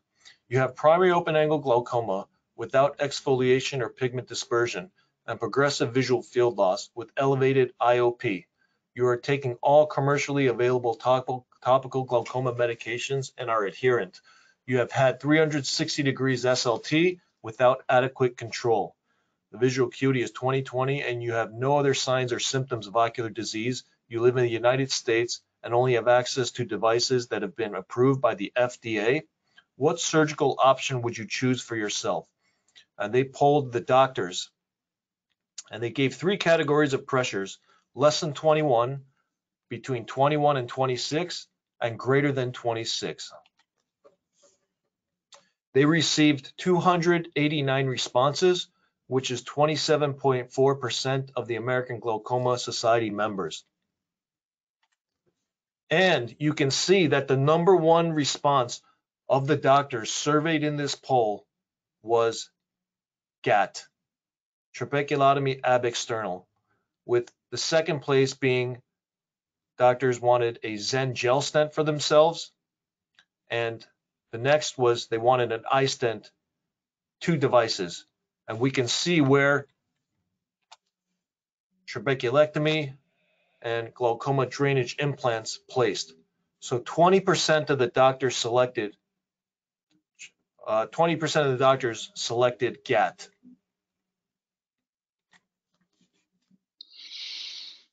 If we look at the breakdown of the pressures from greater than 26, 21 to 26, and less than 21, GAT finished in the first or second choice for these doctors.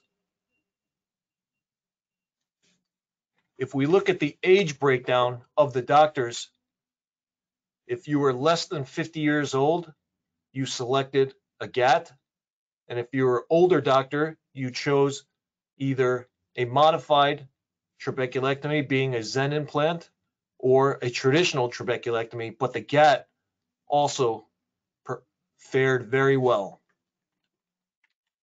So how did this happen? How did GAT get introduced in 2014? And then when they did a survey in 2018 of doctors, it all of a sudden became the most popular procedure. To me, that is incredible that within a span of four years, all of a sudden, the glaucoma doctors in the United States, at least 27% of them, selected GAT. So what is it about GAT? Well, I thought about it and I said, well, there's a good safety profile, there's good pressure lowering, decrease of medication, there's rapid recovery. You don't need a fancy device. It spares conjunctiva. It works in various types of glaucoma and you hit 360 degrees of the angle. And if it doesn't work, you can go ahead and get a trabeculectomy or a glaucoma drainage implant or any other selected MIGS procedure. So what extras do you need to do it? This is really a, such a basic procedure where you don't need much in terms of extra instrumentation. The basic level GAT is you need a 5-0 Prolene, you need a microforceps, you need a gonioscope, and you need a wire tip cautery to round the tip of the suture. Because if you round the tip of the suture,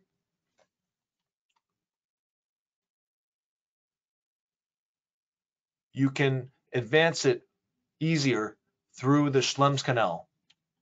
Of course, what makes it easier to do is an illuminated catheter, such as this device here, where there's a, a light pipe, an optical fiber that flashes so you know where you are when you advance the light pipe in the Schlemm's canal. So it makes it much easier than if you're just using a Prolene and you don't know where the suture is within the Schlemm's canal. But this one, of course, adds to the cost of the procedure. this is a video performing the GAT. And first you make a paracentesis. And you cauterize the tip to make it a rounded edge. You make the goniotomy incision with a side port that's flattened out and using the gonioscope and microforceps, you thread the Prolene suture into the angle and keep advancing. When you hit resistance, you can pull back and keep advancing. Sometimes you'll only get 180 degrees. Other times you'll be able to advance at 360 degrees. If you advance it and it can go no further, then you can pull, you take the lens off, and then you pull the stitch, and you can see that in this video, I'm able to advance 180 degrees, and then you simply go around the other direction. Now, if you're a righty and you're going in one direction, you're using your right hand, but when you go to the other direction, you're also using your right hand. You don't have to switch to the opposite hand. And then you just advance it in the other direction. And when you hit the site of resistance, you try to push, you pull back, you try to push more. But if it doesn't advance, then you pull it. So in this video, we were able to achieve 360 degrees of GAT. And you can see that this patient has exfoliation around the pupillary margin. There's exfoliation material, and this is a very effective procedure in this type of glaucoma.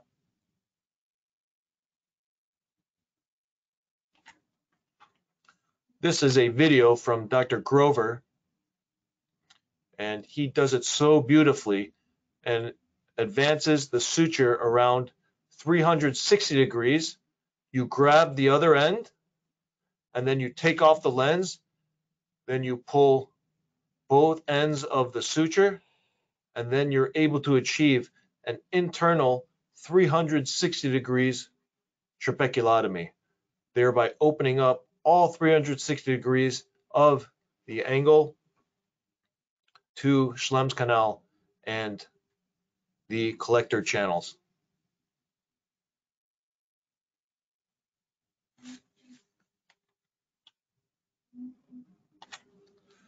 So here are a few tips and tricks for the procedure. The paracentesis that you make should be angled towards the trabecular meshwork. You don't have to use any phaco machine to wash out the viscoelastic. You're putting in cohesive viscoelastic and then you're able to aspirate that out using a cannula tip. And you just need to make a gentle burn on the Prolene. If you make it too much, then that, then that ball at the end of the Prolene is going to be very big. You want to make sure you angle the forceps towards your paracentesis so you're able to grab it and advance more. And for me, it takes me about 30 to 40 pushes to go each 180 degrees because I counted how many pushes I was making because when you're doing it with the Prolene stitch, you can't see. So in order to guesstimate, it took me about 30 to 40 pushes. But of course, it depends on where you're grabbing on the Prolene every time you advance it. If you only get 180 degrees, then you simply stop and you pull, and then you go into the reverse direction after making a new paracentesis. And if you're a right hand, you continue using your right hand. And if you're left hand, continue using your left hand. And then you use balanced salt solution on a cannula to flush out the viscoelastic. So the ultimate secret I have for learning any of these procedures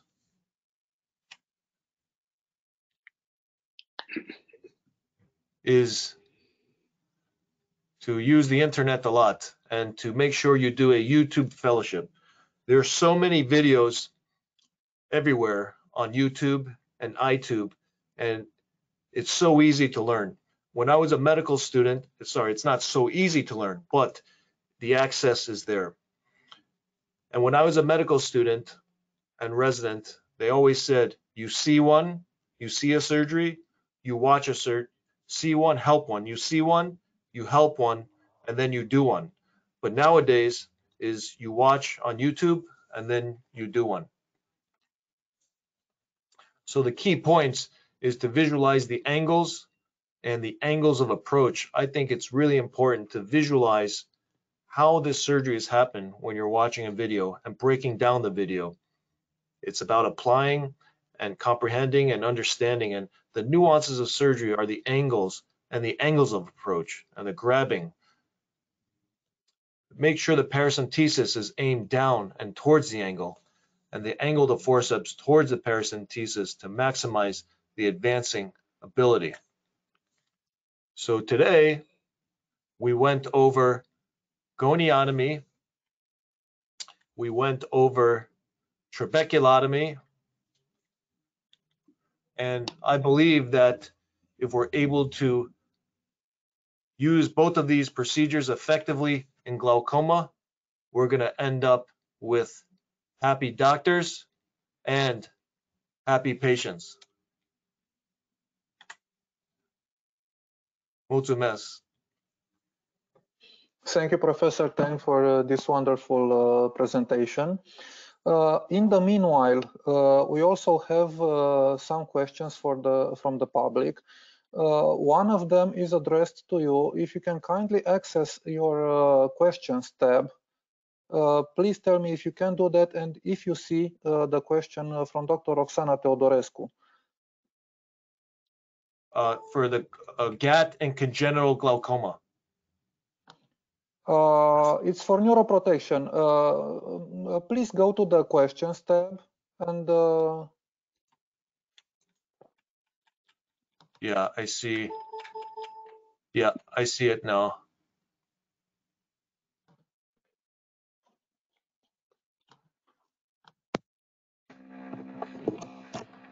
I recommend neuroprotection for many patients. For instance, a patients that I use, the question is, um, do you usually recommend neuroprotection and various biomarkers for glaucoma disease? And how do you measure efficiency and how long? Okay, do and what devices do you use? So this is the difficulty with neuroprotective agents. And personally for me, I do use medications with the thought of possible neuroprotection. Now, for instance, I was saying in high myopia, we have patients with myopic looking nerves. We have patients with enlarged blind spots and possible thin rims on the nerves. At that point, do you start the glaucoma drops or do you put some other possibilities on there? Oftentimes for patients like that, I do start bromometine one time a day in both eyes for the possibility that there might be neuroprotective effect. Does it really work? Is it easy to measure? I don't have access to ERGs for these patients, but we do do visual fields and OCT over time. But in a typical glaucoma practice, no one is able to get biomarkers and no one is able to get blood tests for these. So I do it for the hope for the patient. And bromometine is generic medication. Of course, notarsadil is also a possibility, but many patients have complained to me about the price.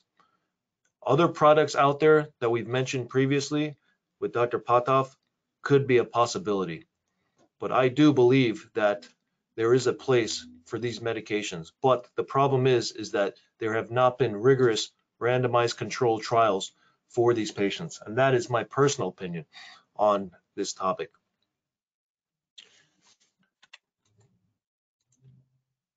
Okay, uh, there's another question, if you can uh, see it, uh, from Dr. Uh, uh, Ioana Daniela Borician. Uh, what is the place of uh, GET in congenital glaucoma?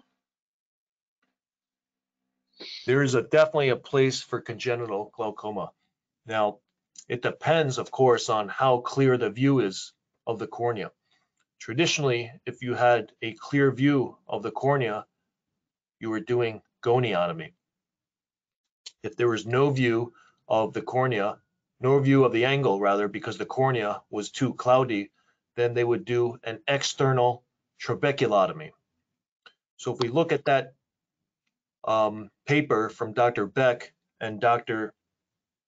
Mary Lynch, they made the external flap on the outside, and instead of putting in the metallic trabeculotome and tearing the trabecular meshwork, they dissected down to Schlemm's canal and inserted the Prolene suture through that flap and advanced it 100, uh, 360 degrees, and then we're able to pull it.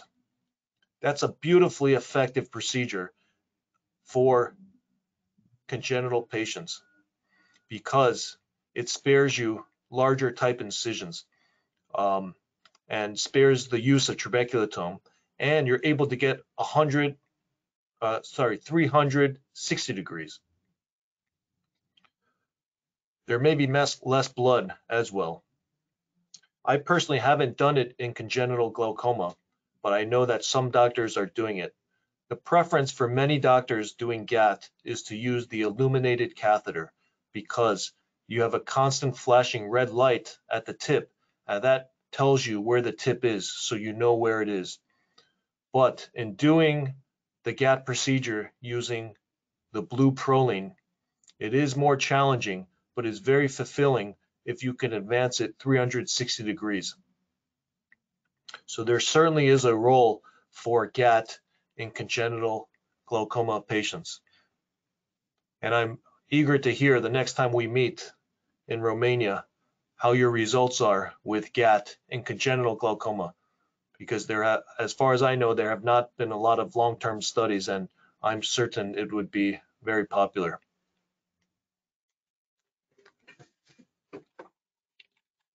Okay, uh, thank you, Professor Tang.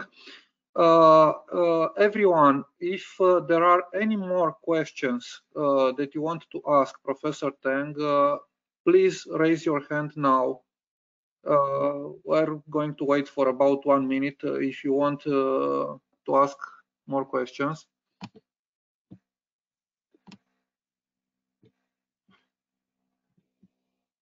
Uh, Dr. Laurențiu Bodolan uh, has uh, raised the hand.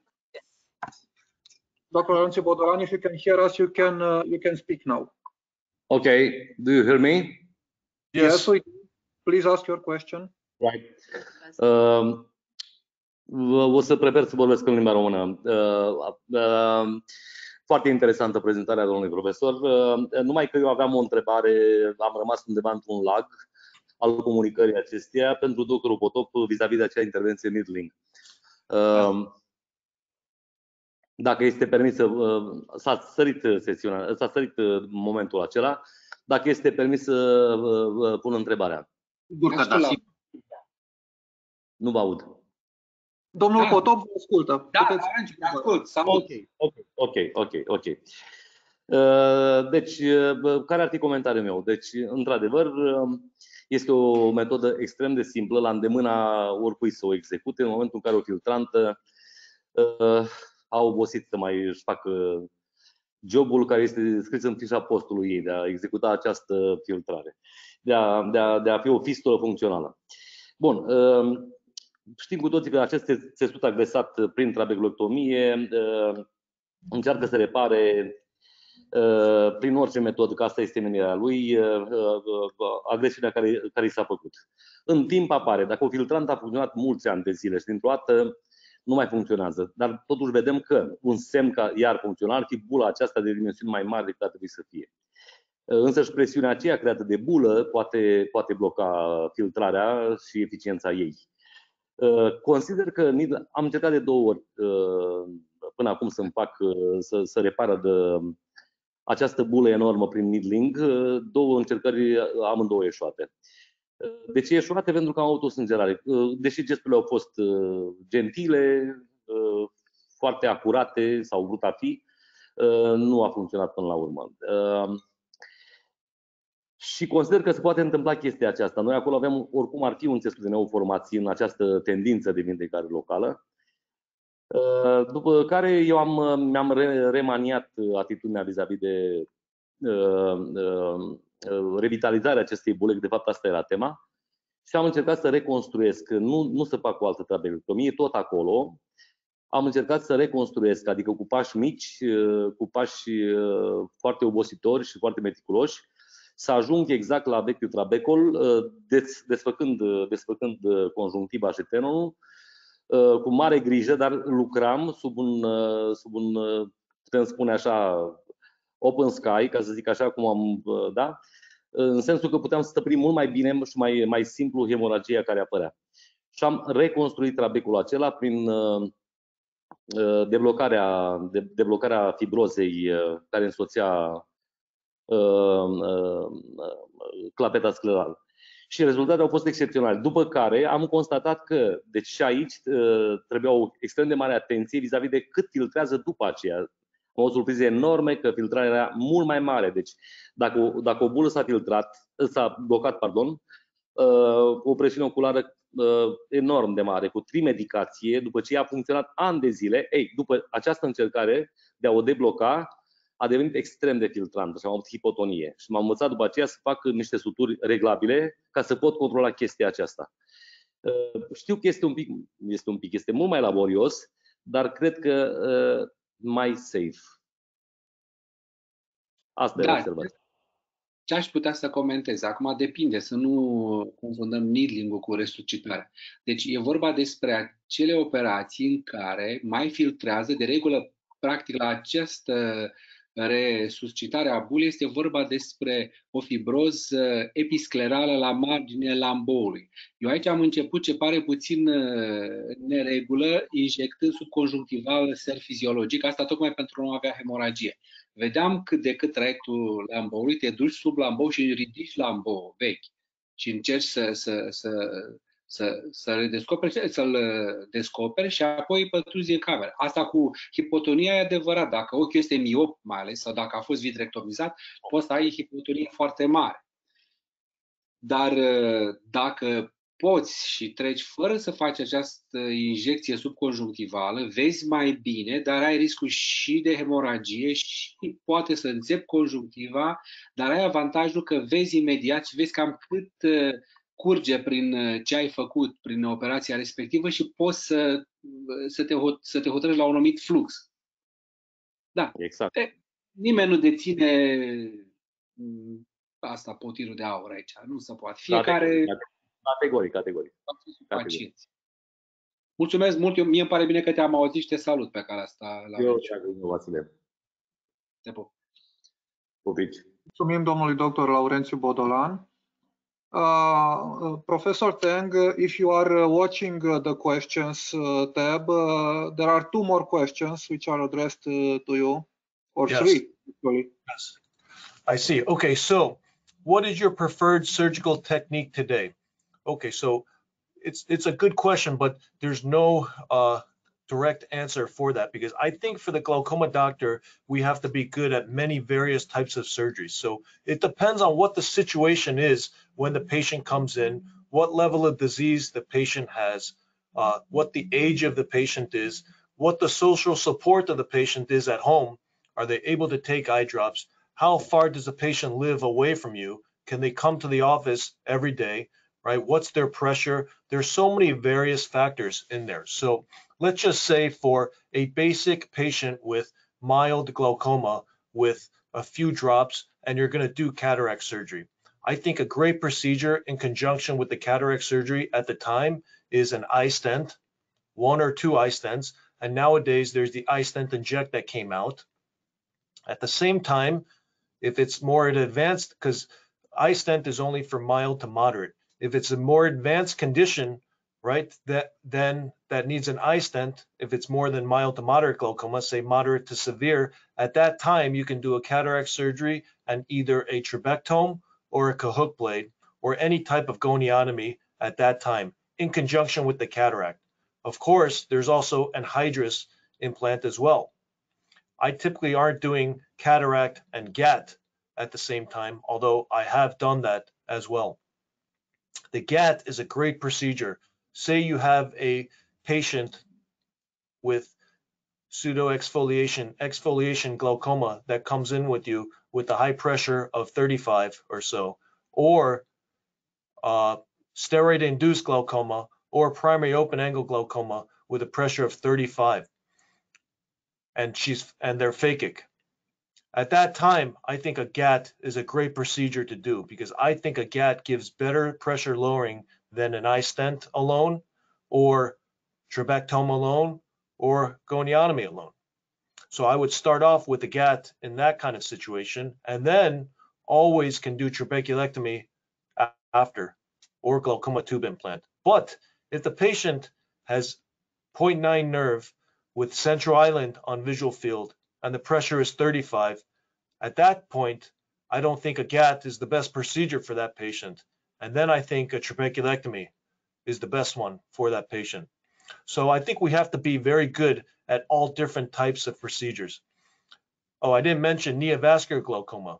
If you have someone with a failed trabeculectomy or neovascular glaucoma, at that point, I move straight to a glaucoma tube implant. So we have to be very uh, skilled in all various types of surgeries and know which surgery to do depending on the situation.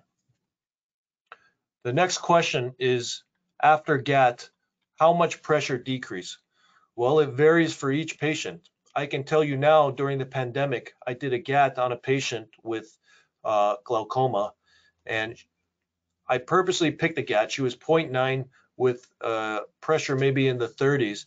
And I, was able to do a GAT 360 degrees, but we've been having a little bit of pressure issues where her pressure did not go down as much as we expected. And she's still on many drops. And I even had to start Diamox. And only now, four weeks to six weeks after the surgery, has it starting to come down. So I wasn't sure if she had some type of steroid issues or her slums canal was so collapsed at that time where um, even doing a GAT was not enough to allow direct um, pathway of drainage to the eye. So I'm currently still dealing with that now. Converse that to another patient with GAT, a young gentleman with a pressure of 35 due to steroid induced IOP uh, rise.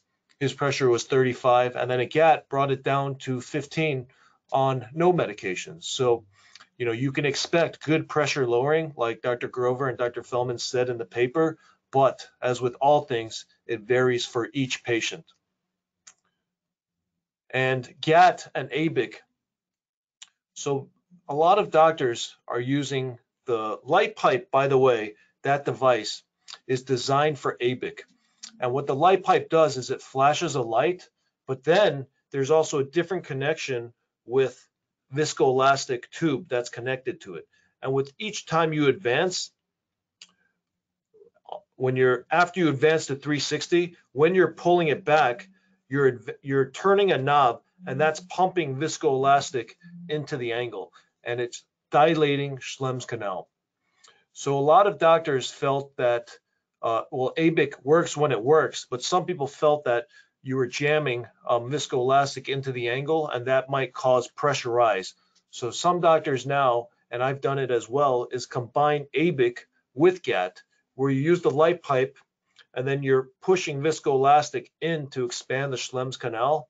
And then after you advance it around 360, then you're pulling uh, the suture and then creating the trabeculotomy. So there's various forms there. I can't say which one is better than what, but those are just some thought processes behind that. Um, you know, as we say, whatever's good in your hands and whatever is good for your patient, I think is the best thing because each patient is gonna need uh, different treatments. We just have to be uh, skilled in all of these types of procedures. So there's no target pressure decrease because even if we say, oh, what would that pressure go down with a trabeculectomy? Well, we can say that it might go down to the low teens, but do we really know, right? So it's hard to make predictions about what the pressure is going to be even after a trabeculectomy to patient, uh, just like it is for glaucoma tube implants. Sometimes patients get lower pressures than others, and this is the case with every surgery. But with all these surgeries, we should expect some type of pressure lowering from where they were before. But of course, some patients we know got higher pressures, even though the surgery went as planned. Thank you.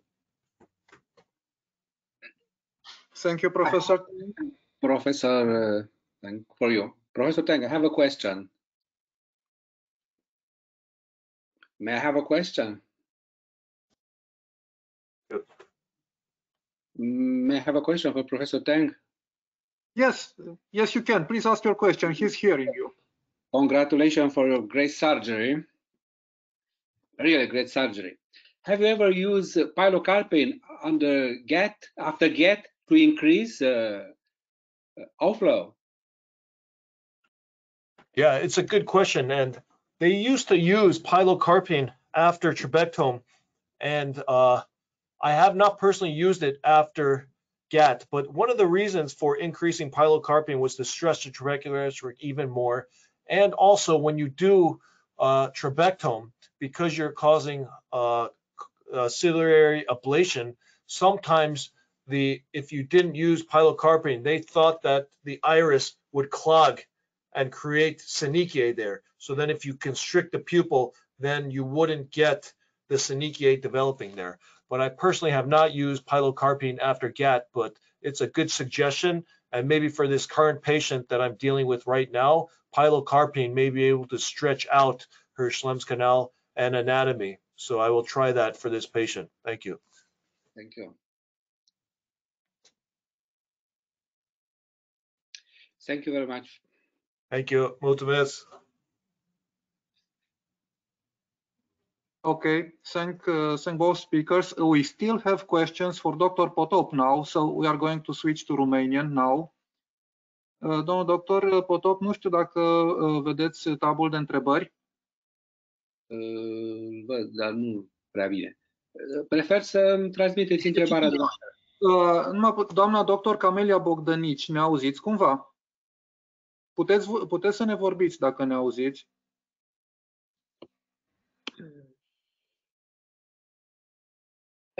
Sper să, să mă auziți voi pe mine. Da, Da, zi- foarte bine. bună seara. Felicitări Puteți să celor spuneți care în au prezentat. Congratulations for the professor Teng and the other. Uh, De asemenea, pentru doctorul Potop.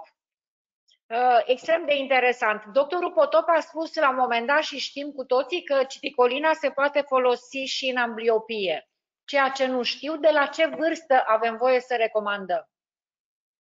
Pe studiile pe care eu n-am experiență în ceea ce v-am, mi-am, v-am spus de la început, astăzi, pe studiile pe care le-am văzut eu, erau uh, folosit, era folosită citicolina dincolo de vârsta uh, recuperării, deci era după 5-6 ani. Nu cred că Dar e o- de fapt, întrebarea era mai mult pentru firmă, pentru că fiind uh, produsul lor, dacă ei au o indicație specială pe, pe um, recomandare, pe prospect, nu scrie nimic. M-am uitat că am uh, cutia în mână.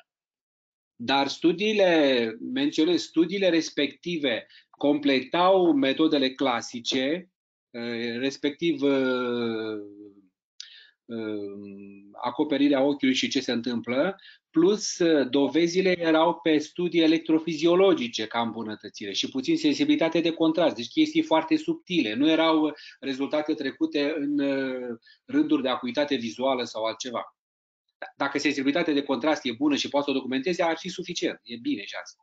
Nu, Eu, eu, cred că, eu cred că este utilă, dar cu citicolina eu nu am experiență și de aceea aș vrea să am experiență și aș vrea să știu. Deci, după Puteți Cinci, iniția șase ani. Da? Puteți iniția studiul și or, orice soluție e binevenită la Este cu siguranță da. binevenită. Eu cred că dezampliotizarea se poate face dacă uh, o faci serios. Corect. Da. E, e, e atât de complex fenomenul ăsta al ambliopizării încât uh, orice încercare de a deschide sau de a salva ceva merită toate șansele. Oricum, felicitări! Mulțumesc mult de întrebare și pentru tot.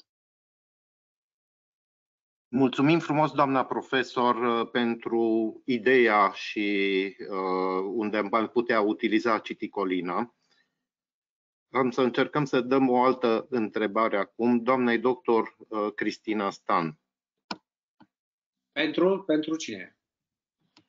Uh, tot Pentru, pentru, do- tot domnul profesor Potop. pentru dumneavoastră. Vă ascult. Imediat.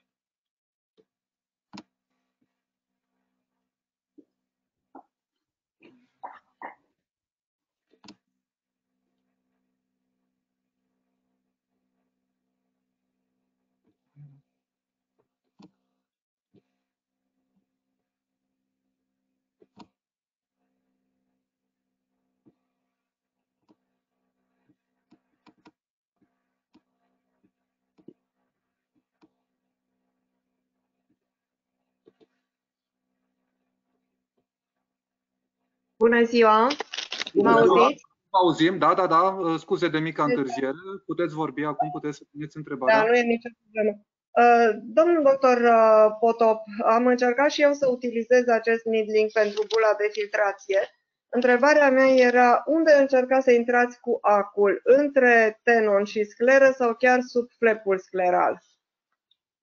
Deci plecăm la distanță de marginile lamboului, se presupune că are cât de cât bula are o anumită înălțime și ajungem prin lateralul flepului și încercăm să desprindem flepul și să-i facem o, deci o comunicare. De regulă, nicio, ori se întâmplă ca să eșueze filtrarea la ostium, la ostium intern. Pentru că acolo, cum am prezentat în, ca, în cazul pe care l-am prezentat, doar în cazul în care se enclavează vitros sau ceva, dar asta nu-i per prima. De regulă asta se întâmplă dacă s-a produs o operație de cataracte și între timp s-a, s-a obstruat o operație care mergea. Automat este, este, o, este o, să spunem așa, este un needling la flap ăsta. Restul se numește needling simplu, dacă este uh, bulă închistată sau este chist tenonian. Uh, v-am întrebat pentru că eu de câte ori am făcut am încercat doar între tenon și scleră, dar uh, nu am reușit să repermeabilizez. Trebuie să desfaceți lambou, capătul posterior, marvilatura posterioară a lamboului trebuie desfăcută. Și, și, între, și în interiorul sclerei se întâmplă rar să se obstrueze la De regulă acolo, la demarcație, se întâmplă de cele mai multe, din experiența mea ce am văzut. Mhm. Da, oricum uh, n-am reușit să văd clar și ca să merg pe orb cu acu n-am îndrăznit. A, nu e o reușită 100%, să știți că lucrurile diferă foarte mult. Însă în cazul în care reușește satisfacție atât de mare și vă salvează din două, dintr-o alternativă, nu știu, foarte neplăcută, ori între altă operație sau device, preferabil o operație salvată. Da, știu, am încercat și eu, dar din păcate se pare că nu, Mm, Dacă intrați fără să decupați, să decolați conjunctiva sau cu mai puțin lichid, vă puteți da seama imediat că începe să se formeze sau ajutați să se formeze, dacă nu se formează, tot cu hidrodisecție. Aceasta ajutăm spațiul unei bule noi. Practic îi facem, dar vedem că se hipotonizează ochiul. La un moment dat, numai desfacerea flepului nu ajută, trebuie să aibă și un spațiu. Și atunci Uh, serul pe care îl avem în seringă îl folosim și să creăm spațiu hidro, ca un fel de hidrodisecție în, în uh, noua bulă. Mhm. Ok, mulțumesc foarte mult. Mulțumesc și organizatorilor pentru o seară foarte interesantă. Mulțumesc mult! Bună seara! Mulțumim și noi, doamne conferențiar Cristina Stan. Uh, tot pentru domnul conferențiar Potop, mai avem o întrebare de la domnul doctor Marius Nistor cu acul încercați să ridicați lamboul scleral sau și să pătrundeți în camera anterioară? Dacă după ridicarea lamboului scleral ochiul să moaie sau vedem că este flux în, în spațiul respectiv, nu e cazul să mai intre în cameră, pentru că este greu să nimerești ostimul în cameră. Trebuie să vezi foarte bine. Deci s-ar putea să creăm un nou orificiu. De regulă se întâmplă foarte rar ca să se obstrueze la nivelul ostiumului și când se întâmplă să se obstrueze la nivelul ostiumului, cu manevra asta nu avem nicio șansă să reabilităm bun.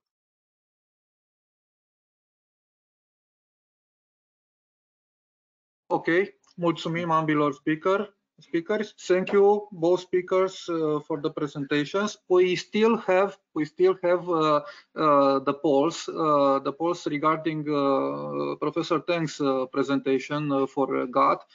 Uh, we delayed them a little bit because the questions came and they kept on coming, so we felt like it was inappropriate to interrupt the questions from the public. So now uh, we are going uh, uh, to the final poll session with the questions from um, Professor Teng presentation on GATT. So here we have the first question. You can now start voting.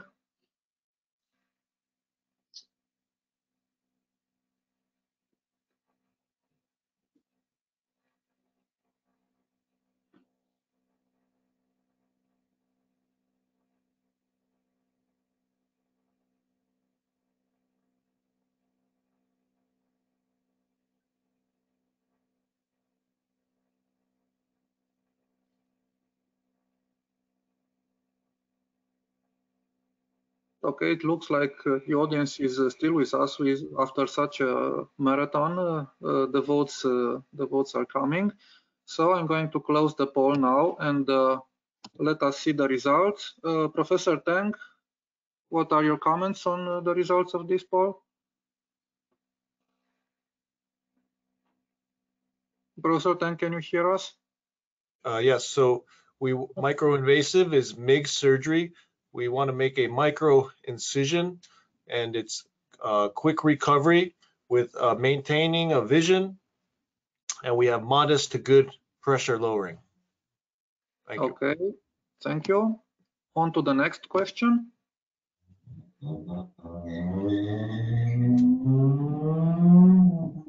It's okay, now you can start voting.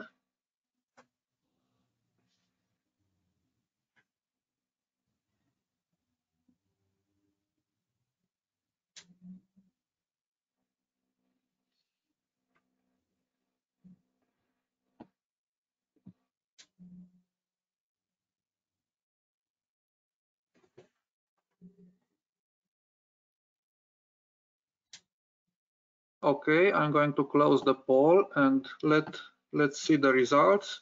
Professor Tang? So from my research, Dr. De Vincentis from Italy in 1892 first described goniotomy without looking at the angle, just looking at the eye and cutting the angle. So I call him the godfather of goniotomy. And Ron Fellman invented the GATT procedure and von Graefe was one of the most famous ophthalmologists.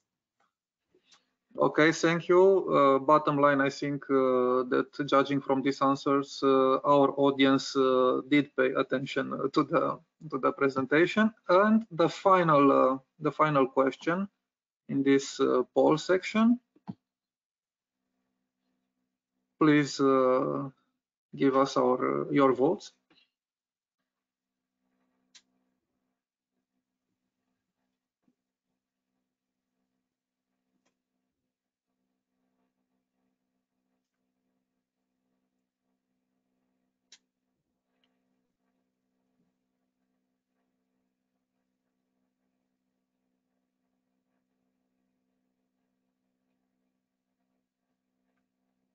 Okay, let's close the poll and see the results.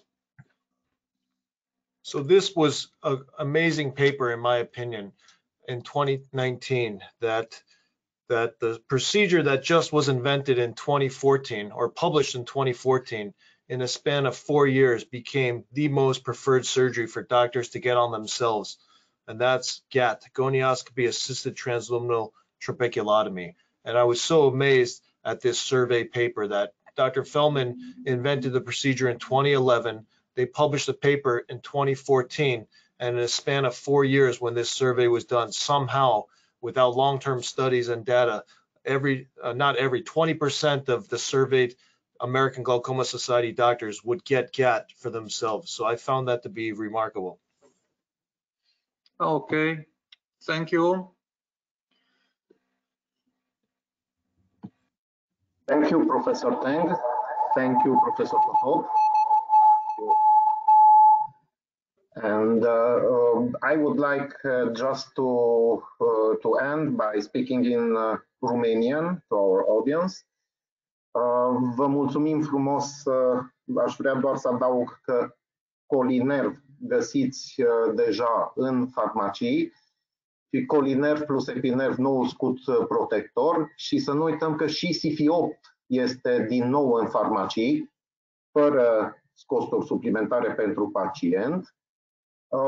Ceasurile pe care am spus că toți cei care au participat la acest simpozion le vor primi le vor trimite reprezentanții noștri și vrem să vă invităm la următorul uh, webinar organizat de colegii noștri de la Tifi Surgical, Raluca Mureșan, Călin Mihailescu și uh, Daniel Hetman, Cristian Turtă, uh, care uh, este pentru algoritmii uh, de măsurare și biometrie și calcularea uh, IOL-ului. Este marți de la ora 5 p.m. Este un curs practic, vă așteptăm cu, cu drag. Vă mulțumesc încă o dată și la revedere. Sper să ne le întâlnim marți, iar după aceea joi la următorul webinar. La revedere! Mulțumim!